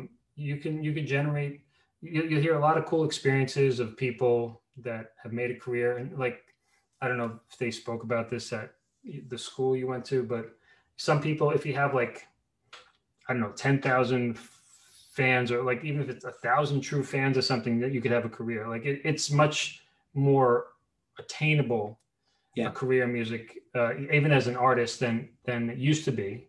But you might have to be really flexible and be willing to shift gears and you know not do a prescribed path like write an album, tour, write an album, tour, do interviews. It, it's that world is not really existing anymore. But yeah, but like you said, the opportunities for being in the music business are vast. Yeah, yeah, um, yeah. I do think it's a very precious time that we live in. Yeah, I do encourage you to check that out. Um, I'll, I'll send you the link later. You can easily find it. But and anyone out there who's listening who doesn't know about CD Baby, and if it's before August 26th, I think, I think it's 26th to 28th, uh, check it out. DIY Music Conference. There's a lot to learn there as uh, DIY musicians. Yeah. Um, so, can you tell us about one of the, tell us any uh, or one of the great lessons you've learned along your journey that helps you to remain positive, upbeat, moving forward? Yeah. Well, you know, it's a really good transition transition that we just talked about CD Baby and, and how, you know, how there's so many artists out there and how there's so many people that are looking to build a following and a brand using their music and try to influence people. And I think that nowadays, because it's not just, you know, Spotify and CD Baby, it also has to do with utilizing Instagram, Facebook, and all the social media outlets. Things can get pretty negative pretty quickly if you're comparing yourselves to other people. You know, unfortunately, I think uh, one of the things that artists have to really deal with nowadays is that you need to be part of this social media world, whether you like it or not. You need to have your stuff out there. You need to be performing content if you truly want to reach people, you know, and, and gain a following nowadays and even like i remember having a publicist turn me down because i didn't have the social media numbers. You know i've had i've had to work on that. Um, social media you know is important for an artist. But what's a big thing is that nowadays if you have a social media account you have a brand. Everybody has a brand on social media. And and sometimes things can get pretty fake. Sometimes things can get pretty plastic. And you have to just make sure that one of the things I've had to learn, especially with, you know, like I said, all the healthy competition being at my program and and and and working towards building a brand and, and being a performer and and having a voice online is that you need to make sure that you be careful how you compare yourself to others. Make sure that if you're on your path to your, you know, you're on a path and either whether it's music or anything else, you know, you have to have the blinders on and focus on your own um, your own uh, your own path and and building your own path and and understanding that yes, you look to other people because you want to be inspired, you want to uh, learn new things from other people and learn their perspectives, but you have to know that you can't feel insecure about where other people are, even if they're ahead of you. You have to know that you're on your own path.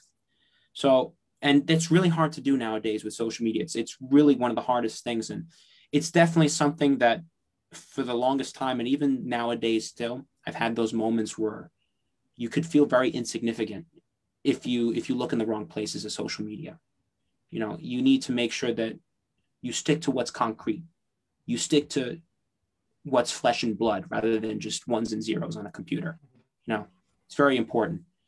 And I th- that's one of the things that I keep telling myself. And that's one of those lessons that I say, you know, you could, you know, it's great to, you know, have, you know, a thousand likes on a video. But what's even greater is when somebody comes up to you after a performance and said, You've changed my life. This is important. You inspired me. You know, and I've had those moments too and those moments are way more important than the moments where you know you get a dopamine hit online you know i'm trying to say yeah oh yeah man uh, I'm, I'm so glad you uh, very clearly said that coming from again a, a younger person uh, i think it's important for young people to hear it and to know it um, yeah i'm certainly an advocate of uh, flesh and blood over uh, digital numbers and stuff like that um, yeah. you know spending time with my son or, or my my friends, my real in person, or my or my neighbors, you know. Yeah. Uh, that's got to be a part of my day, you know. And then I do what I sort of need to do online, just because I feel like I have gifts to give and share. And yeah. like you said, this is the the world we live in. We kind of, if we want to have our art reverberating in the world, participating in social media is probably going to be involved. You know, yeah. Um, but uh, yeah, um, yeah, the comparison comparing to other other people is uh, truly um, something to overcome. I can go real deep in many directions with that, but uh, yeah, like the big why, right? What's your why? Yeah, of course. You know, to, to come back to that, to have maybe put that on a wall, right? Or whatever you got to do a lot of times, you know, I, I'm a, I practice Buddhism and I chant every day. And mm-hmm. sometimes I wake up in the morning, I feel like crap. And I'm just like, while I'm chanting, just trying to think, you know, what the heck? I, I, too many things I have to do, or, or I feel I don't have enough time to do things that are important to me, or comparing myself in life. Mm-hmm. It's less now, I have to say. At, at my age, it's comparing has become less, fortunately, but Mm-hmm. Um, still, you know, it happens, and just being frustrated where I am, maybe, and um, the why, you know, the why is very simple. It comes back to this really pure-hearted thing, which is I want to be healthy. I want to feel good every day. I want yeah. to contribute my talents in a way that's fair to me, that's very loving to me. You know, like that honors who I am. Yeah. At the same time, to to to give of my talents generously that's a gift. Of course. You know, it's a big gift. It is because how rare is that today, right? Right. To find someone who's actually ask you a question and you answer and they're like, and they listen to you. It's like, you're listening to me? like, great. yeah, no, it, it's so true. And, you know, when I come back to the real, the why, uh, it's very simple, you know, and, and I, I think one thing that really helped me is realizing, and, and Buddhism helped me with this very much, that um, we are all equal, but truly not not knowing is a concept, truly feeling it. Yeah. So they so that means that where anywhere wherever anyone is on their path, yeah. if they're ahead of me in some way or or like look like they're behind me or lower than me, yeah. none of it is meaningful. Of course. It's all just eh, basically an illusion that I have to operate with, you know, and understand that I'm going to be the most, uh, I'm going to benefit most by regarding each person as, a, as an equal. And that, that also means that I have the right to be myself, you mm-hmm. know, and that it, where, wherever I am my path, I'm, I'm no less worthy than anybody else. And that I could actually contribute to people by just being me, you know? Yeah. And uh, yeah, but that, I'm really glad you brought that up about uh, not comparing because it's crucial. It's so, it's so important. It's so important. Yeah, and I would say especially for your generation or even younger. I mean, I'm yeah. sure older people are comparing a lot too, but yeah, uh, well, at least we had the era where we didn't have to go through that. But now, if you grew up with the social media all the time, it must be pretty can be pretty dense, I guess, and like right in your face.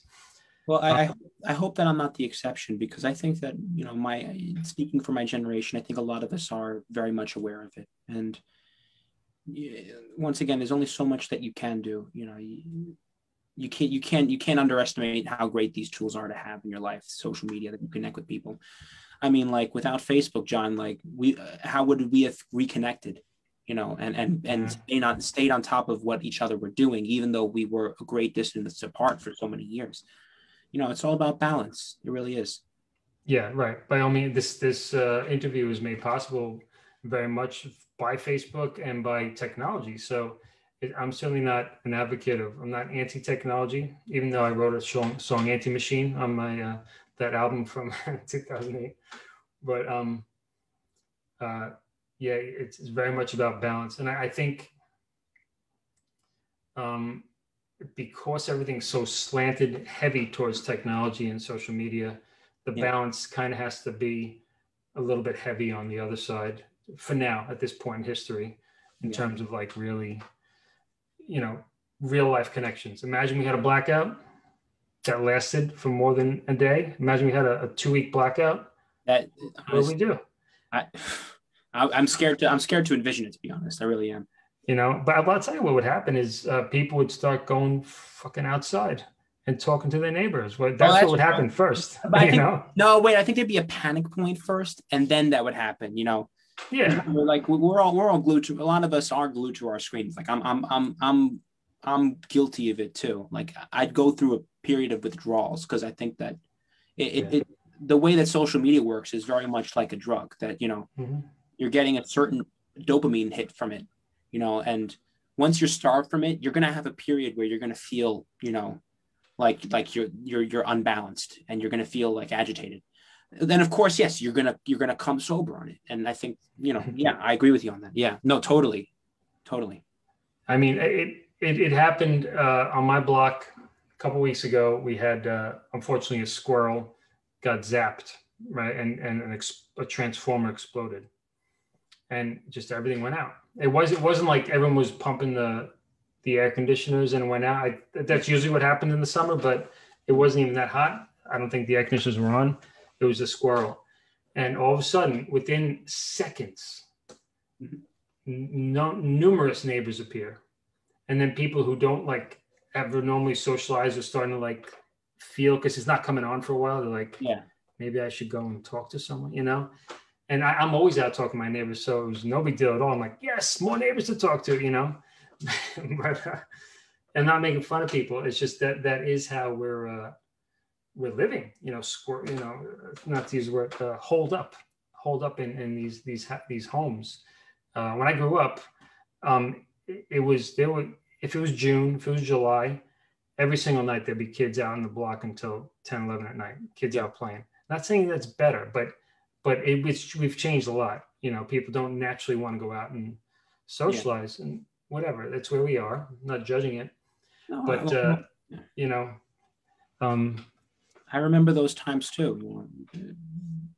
I, I really don't recall. Like I said, once again, it all goes back to kind of having the best of both worlds. And then I was part of that generation that technology, the technology that we had wasn't like fully consuming our lives yet. You know, right. we had more socialized. I remember like just going around my neighborhood with my bike with my friends, you know, spending late nights in the summer, you know, and you, you just had your own fun.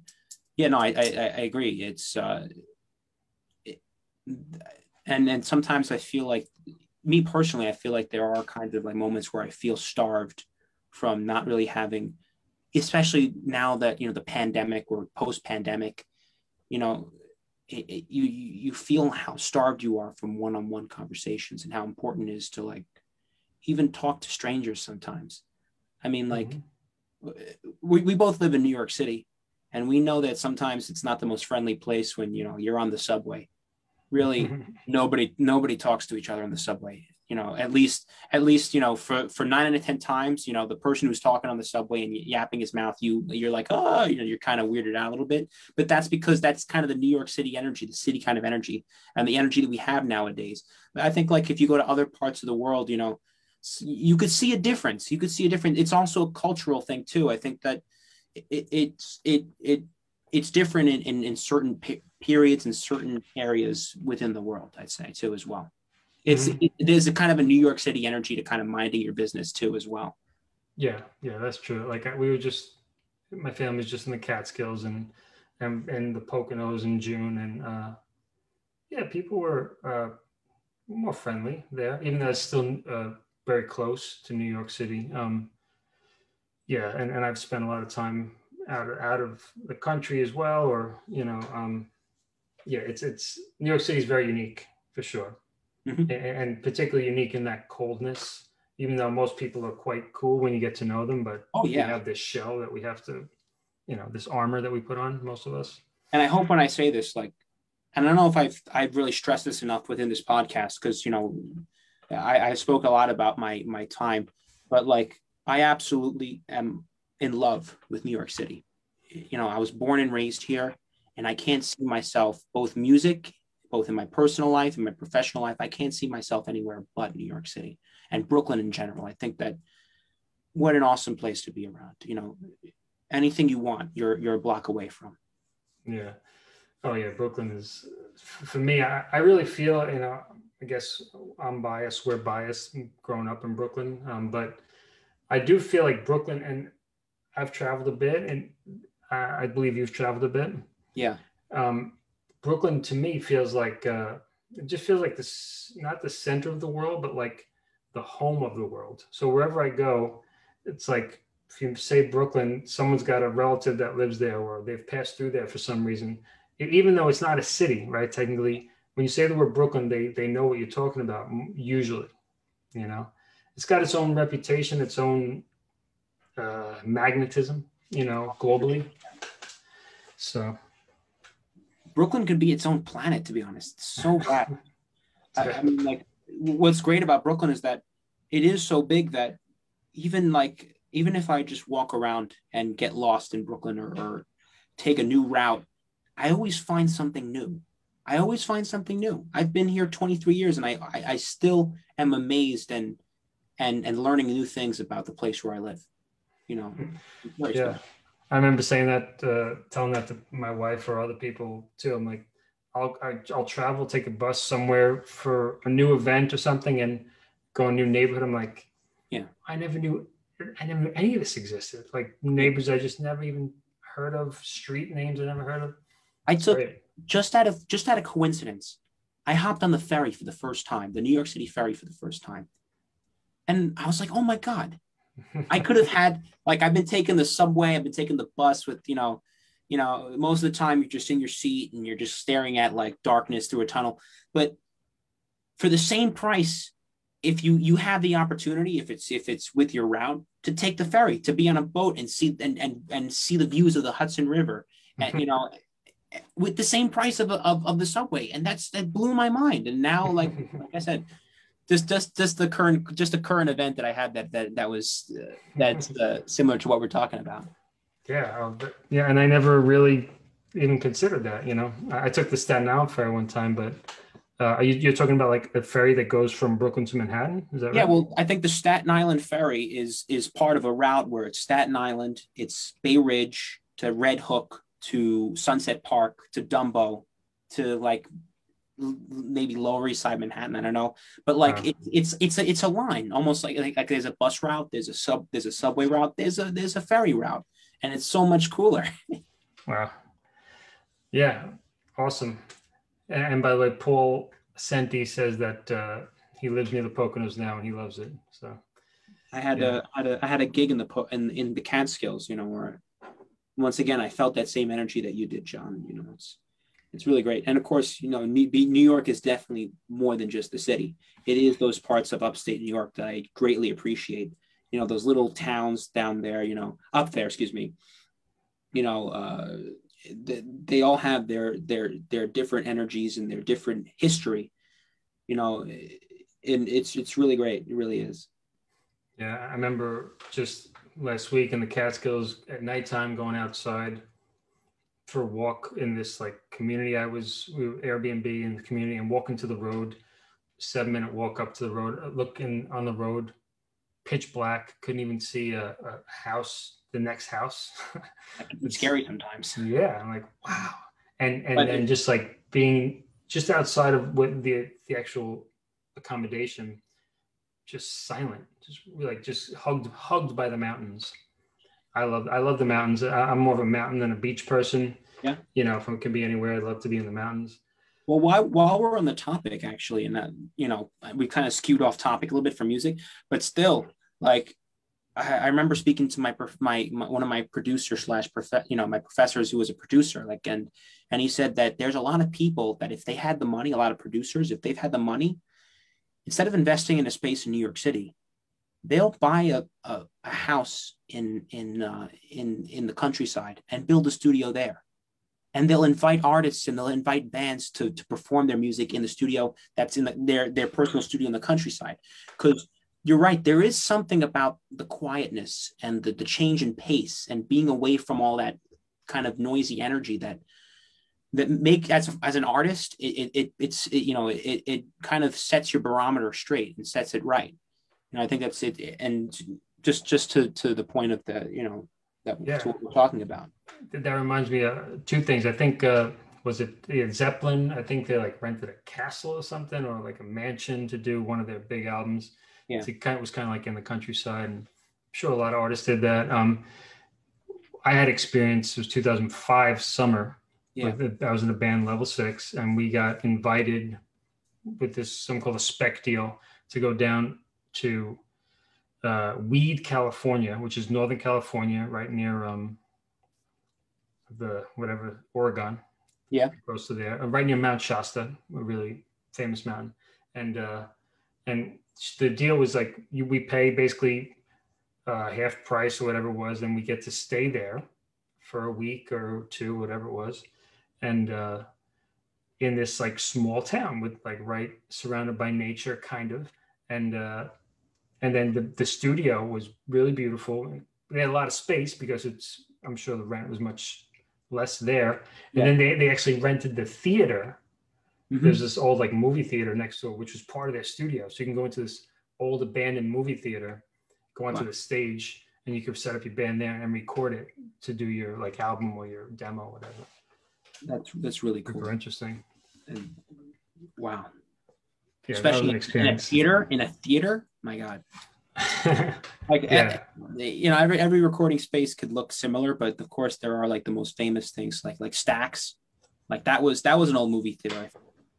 Hmm. and you know interesting spaces interesting interesting spaces make interest, interesting records you know that's mm-hmm. that was and, the beauty that was the beauty about the 60s 70s and 80s is that you were recording usually you know you could tell a lot of people if you had the ear for it you could tell what the studio was you could tell by the reverberation you could tell by you know the the the delay time each each studio was its own character mm-hmm.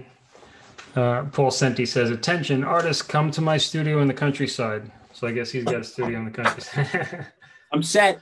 I'm up, Paul. Now. Someone's coming. no, I'll definitely. I'll, I'll, I would love to connect, and and it would be really great. It would be really cool. you know, I, this I'm this is this is definitely what this is all about. This podcast, and I think it's it's it's been really cool so far. Yeah, absolutely connecting. I have a few more questions if you got the time, Marco. You of course, yeah. All right, cool. So do you have a spiritual philosophy that guides and informs what you do and how you live? Hmm. Well, John, I think the best way that I could answer that question um, is that I was very lucky to be uh, instilled with some really, really great universal morals that, you know, through my upbringing that, you know, I follow to this day. I followed all my life. Um, and that's, you know, three things being honest, being humble, and working hard. And, you know, these aren't just empty slogans, you know, these are things that I've noticed with my own character that these are absolute musts. When I say being honest, of course, I mean, you know, don't tell lies. That's that's the obvious thing, and that's that's that's universal. But I also think that being honest on a on a more macro level is also making sure that when you're presenting yourself to the world that you're you know you're being honest on who you are which i think that nowadays can be kind of hard to do everybody's trying to impress each other one way or another and then sometimes you could like kind of uh, like mix and match you know you know what you could say to impress people. But i think that sometimes if you just could be as authentic as possible that's an amount of honesty. That's that's a very special kind of honesty um, that i really try to strive for. Um, when it comes to being humble, I think that's that's just a no-brainer. But I think that in the, in the perspective that I'm in right now, you know, as a performer, we we know what it's like to hear applause. And you know, applause can be very rewarding. You know, it could it could give you kind of a self-assurance, it could be an affirmation. But you also need to understand that you should never do it for you should never especially if you're playing music don't follow the applause don't that's not the reason why you're doing it you know don't don't don't chase it don't let it control you you know don't try to keep uh don't search for you know recognition and and and and you know just empty compliments. Don't search for those. You know you have to embrace the criticisms and you know the the honest things that people say to you that you know you have to embrace that just as much as the compliments and make sure that you you take those in. You don't lie to yourself about that and you stay humble within it. Uh, working hard like i said the third thing um, this is something that i'm experiencing right now. You know it's um it's to me it's very easy to work hard at something that's mandated you know when it you know in high school and in college homework and tests were very concrete things that okay, I need to study for this. I need to work hard. I need to set a schedule because it's mandated. You know, there's other people on your back about it. But this, there are things in life, including things in music that beyond your job, beyond your school, beyond you know your your daily responsibilities that you need to put time and effort for. You know, if you're going to have, especially a music career, you know, obviously you might need a day job at first when you have that day job, you can't get off the day job and then just sit on the couch all day and, and, and waste your time that way. If you really want to pursue a passion, you need to make sure that you're responsible for the things that that other people won't be heckling you for. You need to be responsible for the things that you care about and that you're working hard for the things you care about. And you're setting a schedule for the things you care about. And that's something, like I said, I'm fresh out of college. That's something I'm working towards. So to answer your question, honesty, being humble and working hard are the things that the philosophies I'd say I'd live by, and like, I think that's the best way to answer it. Mm-hmm. Yeah, well, honesty, being humble, working hard. Sounds to me very much like a, uh, Im- immigrants, immigrant parents, uh, like life lessons, fundamental life lessons. I well, if I, didn't, if I didn't mention it, you know, I'm Italian American. My my mom and my dad were born in Italy, and I'm a first generation. So, um, like, I'm glad you picked up on that. It, mm-hmm. I, I agree with you on that. Yeah, that's definitely something I would hear from particular Italian people that I know who either come from Italy or, or the parents that they would say similar things. And they and knowing this one guy in particular I could think of who was in his 60s, just like a stand-up character. He came over uh, when my friend said I needed help with fixing my uh, bathroom because I, I kind of made made him a bit of a mess trying to do the right thing, but I, some got messed up. And he said, "Yeah, I'll come over." And he came over. He fixed this big plumbing job, which would have cost seven hundred dollars if I paid someone to do it. This Italian he, Italian guy, yeah, Rocco. and uh, one thing, one thing, just sorry, one thing that Italians know how to do is fix up a bathroom. love, they love that. They love type like. Yes, I love. I'm glad that I'm so happy. That's a coincidence that you put that, in your story. Go ahead. Go ahead. Yeah, no, he, he came over and he, he took care of it. John, don't worry about it. I, I got you. I'll help you out here. And and then he, he also added added a life fixture while he's at it. Like, you know, there's this life fixture. I'm not sure. He's like, ah, give it to me. And then it was it was up. He's like, I didn't have to thank you because I knew he wasn't going to accept money, and he didn't. It wasn't that that nature. He he he loves to do this stuff. He's retired. Yeah, but uh, it's so so appreciated him, and, and I, I knew him for a while because he's the father-in-law of a friend, and um, he's got this. You know, I've talked to him many times. he has the same idea, like you know, you just do right by your family, you uh, you tell the truth, and um, and he, he was not afraid of working hard. I mean, he was like moving yeah. my sink around. You know, it's clearly a lot more muscles than I have at my age. You know. Yeah. Uh, yeah. Anyway, the funny uh, connection there. Um, so, are there any setbacks that you'd feel comfortable to share um, in which music has helped you to pull through?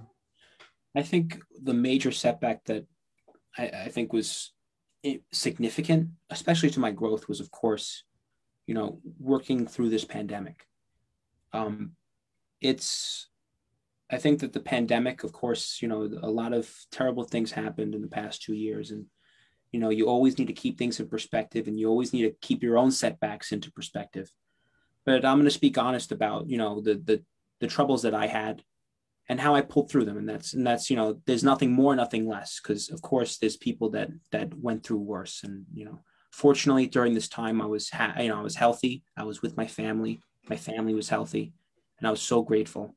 You know, um, but uh, the pandemic did come at a time where I was graduating college, and I needed to make that transition from you know being a college student to being you know a full time, you know, working either working full time on, on my music. You know, that that was my thing.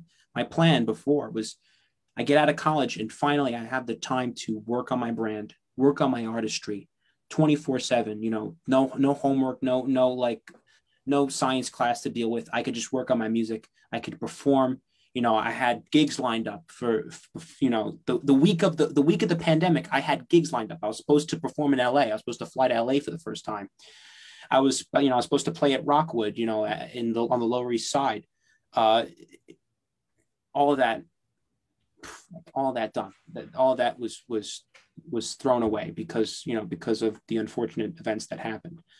Um, and you know, I was stuck like a lot of other people, you know, in in a room like this, just staring at the same four walls for the past you know six seven months, you know, having to rework my goals and, you know, when it comes to songwriting and creating,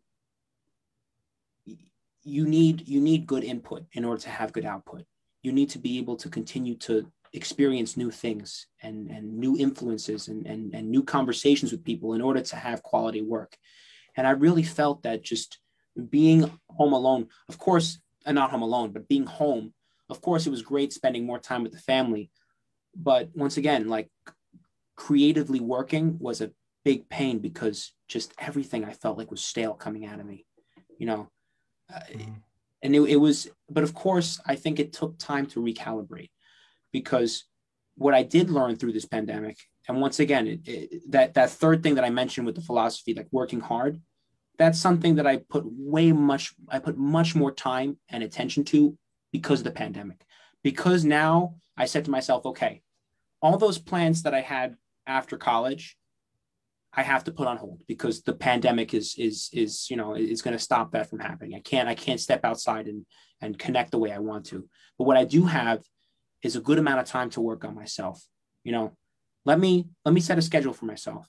Let me wake up early, you know, get cracking on my music early and and start working on the nuances of, of my personality and my work ethic within music so that once things do open up, which they are now, I'm ready. And I think that that happened. I think that because of because of you know the setback that we all faced, I think that we've all kind of worked on ourselves in a way. You know, a lot of people were in, influenced to work on themselves and to step back and to be able to kind of improve, you know, sort of like clean out the closet that's been, you know, it's, it's like almost like cleaning out a junky closet that you never have time to to work on you know, now you have the time, go clean out the closet. And you know what? Your life is going to be better because of it. And you're going to be more organized and you're going to be a better person. And now that things are opening up, you know, now I'm ready to, uh, you know, perform more gigs, get back to normal, continue to write more music. And now my music is so much better. You know, I released an EP during this during this pandemic, and I think it's some of my best work. And the song that I'm working on right now is my best work you know, better than the EP that I released two months ago. You know, blessings can come out of, you know, setbacks in life. And I think that this is one of the major things currently that I'd say it was a challenge, but I improved because of it. Mm-hmm. Oh, awesome.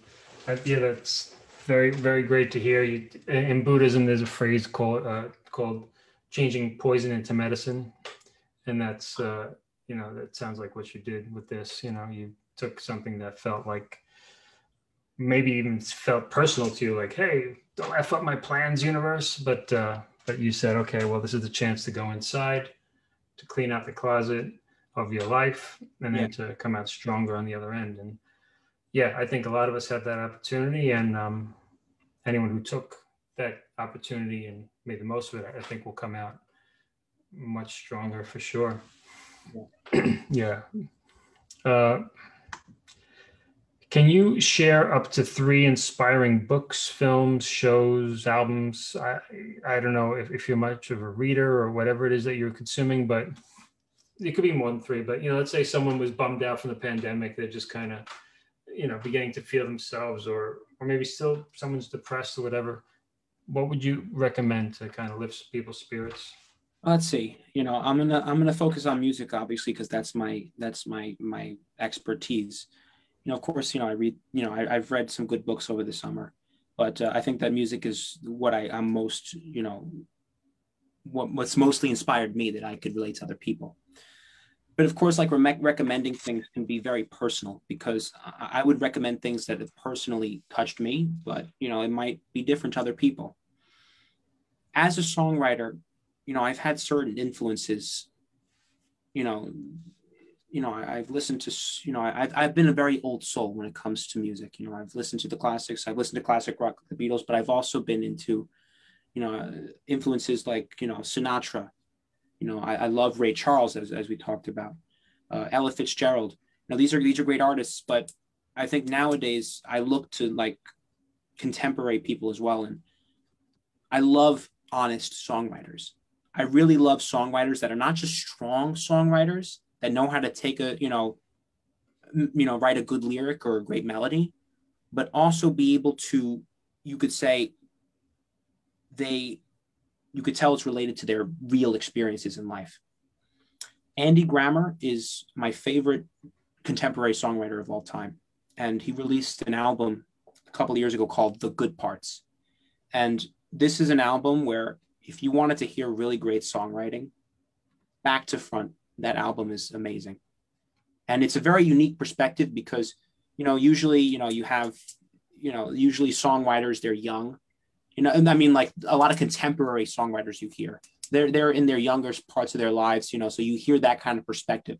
But Andy Grammer, you know, he was, he was relevant for, for maybe like 10, 15 years now, but now he's at a part of his life where he's a father and he's a family man and you know he's he he he this particular album, The Good Parts, is a clear, you know, representation of what he's what he's going through as, you know, where he is right now. And I think that that's special to hear as a songwriter. So that's one thing. I also love the band called AJR. I think that they do something very similar where they they write very honest songs based on their own domain uh, they're very much my generation. You know, they, they they they they talk about a lot of the problems you know with Gen Z, I'd say that we face. Um, but they're, you know, we you know, John, you talk about the importance of an album and and how it is nowadays. I'd say that AJR are making, in a pop sense, in a contemporary music uh, domain, they're the ones that have mastered the concept album.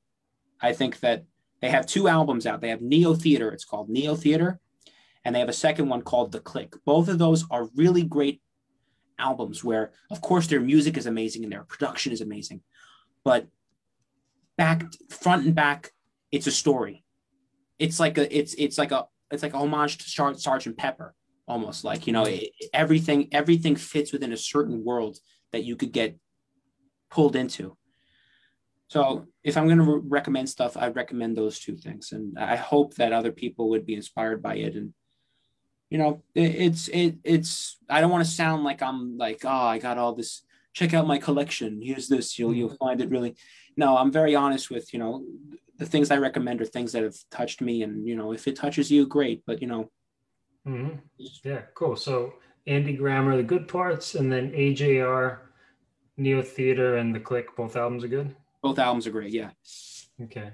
Cool. I'll put those in the show notes with links, and uh, yeah, of course I'll put your your social media, your website for people. And by the way, by the way, you know I, I use that opportunity to kind of like talk about things that inspire me. But if you really true want to, you know, you said that this is about, you know, helping you out, especially at the time that we're in, you know, recommending stuff. Any of the songs that I've written that are on Spotify are very much in that similar vein. You know, I try to write about messages that are positive and messages that of, of challenges that I've gone through, including the one I just talked about now. You know, there was a song to that, and and and I, have released music based on those kind of challenges and and switched it around to the to, to an upbeat message. And if you listen to any of my music on Spotify, you'll you'll connect to songs like "Breathe In, Breathe Out" or "Are Who You Are." You know, mm-hmm. if you know, of course, you know, I want to be able to make sure that I say that as well. Yes, yes. Yeah, of course. Uh, yeah. So anyone who's listening, please um, go and listen to some Marco Varisco. He's uh, he's on YouTube. He's on Spotify and all your uh, music platforms. And mm-hmm. um, yeah, you will be uplifted, and you'll probably be impressed when you realize that he he did this by himself. Well, a lot of it, right? That you did work with some other people. Uh, it, with some of the material it's my journey but of course you know you you, you collaborate with people you know right right yeah. Mm-hmm. it'd be really yeah, good. definitely. Um so if you'd like to share what are your plans in the upcoming upcoming several months? I know you have a gig coming up uh, yeah. anything you want to announce? So this sunday um, if you're in brooklyn or if you're in new york city uh, every weekend on fifth avenue in park slope you know near atlantic avenue on fifth avenue they close the streets on the weekends uh, that way, all the small businesses during the pandemic, they could kind of like open up, they could stretch their legs and, and let more people in. And uh, of course, you know, bars too could could you know host more people in a, in a in a safe setting. And of course, you could introduce once again live music. So uh, this Sunday at 3:30, I'll be performing uh, uh, at a venue called Lizzie King's Parlor. Um, if you'd like, uh, you know, I'm sure my, I believe my Facebook is connected, you know, to this podcast, or you find me on Facebook and you'll see the information for that. But uh, 3:30 uh, on Sunday at Lizzie King's Parlor, that's on Fifth Avenue. Um, I'm going to be performing there, so that's one of the things I'll be. Uh, that's one of the things coming up for me. Um, when it comes to the next couple of months, like I said, the things that I'm working on is recording more music, releasing more music, uh, and uh, continuing to you know build momentum and continue to reach people with my music. And um, i mentioned very very quickly you know a new song that i'm working on. It's a song that i've worked on for a couple of months now. And like i said i'm very happy to say that every every single thing that i've written so far i always say this is my best thing. And i'm super excited with this new single that i'm working on right now. And uh, you know I, I, I, like we talked about, I don't want to overcook it, but I also don't want to undercook it. And I think that it's going to be truly something special. And uh, I'm going to plan to have that released sometime soon. Um, so those are the things coming up for me. Cool. Definitely check out my performance. Yeah, and and uh, this isn't a recurring gig, is it? This is the, this one Sunday at the moment.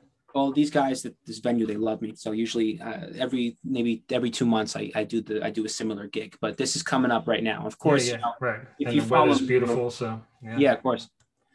Awesome. Yeah. So go see Marco live if you're in Brooklyn, or if you're or if you're in the Catskills, drive down if you have to. yeah, of course. Um, uh, and uh, you you should I should mention that you have a new music video. I don't know how new exactly, but it's really spectacle. Well done Thank music you for video. Reminding me. Thank you for reminding me. Yeah. Uh, once again, something new that I never tried before. You know, I, I collaborated with a great group of people that really was a passion project for me, and this new music video, Crash My Car, is really great. It's got a cool story to it, and you love the music too. Mm-hmm. Yeah, Fun. so go check out Crash My Car. You can find it on on YouTube and probably on Facebook too. You released it on Facebook too. I know. Yeah, yeah, it's it's it's a lot of fun. It's quite uh, quite a spectacle. uh, you could see the your influence in in theater too. I think coming out your actor side, right? And it's uh, a lot of a lot of energy. Yeah, I love the your jumping in your some of your photos and stuff. You jump. I'm like, man, I wish I could jump like that now. I still run, but uh, yeah, not jumping so much. But running and jumping that, that that's it's energy. It's energy and it works. Yeah, right. No, I totally get it. Um, so uh, just to be specific, uh, where can people find you and learn more about what you have to offer? Yeah. So you could find me on Facebook. You know, my name, Marco Varisco, M A R C O V A R I S C O. Yeah, you'll find me. You know, you'll see my profile picture. You'll look like me. You know, you know, uh, big hair. Look for the big hair. Big, big hair. Um, you could also find me on Instagram, Make Your Marco, and uh, also find my Spotify page too. You know, if you find if you find me on Facebook and Instagram, you'll find links to my Spotify page, and you could check out my music. Uh, you know, really great stuff. Of course, www.marcovarisco.com. And uh, like I said, uh, I think now is a good time to you know show appreciation and thank everybody that was in the comment section. I would love to connect with everybody, and you know, this is a really great community, and I think that John has done a great job uh, you know making this community and uh, it's been really great. So you know if you if you if you want a starting point definitely my facebook my instagram my spotify. You could come back you could come by on sunday too as well and we'll we'll have a conversation. Yeah yeah guys uh for real marco's a, a real person a real cool guy. Uh, so please guys and gals reach out connect with him. Um, i'm hoping to meet with you in person marco before before the summer's over we got to do. it. We got we to jam out again. We got to. Yeah. We got to. We got to. Just like old times, John. Yeah, well, let's definitely do it. It'll be fun, and uh, our piano's relatively in tune now, so nice. So we should be good. So, man, it, it's been a lot of fun. I know you and I could talk for another two hours, but uh, I guess we should be I, a little bit. I mean, uh... this, this, flew by, John, and this was so great. I mean, like, really, really, really cool stuff. I, I love podcasts, and I love the, I love the medium, and it was really great talking to you. There's a lot to talk about, a lot to catch up on.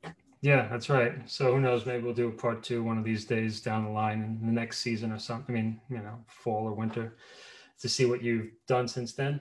Yeah. Um. So yeah. Uh.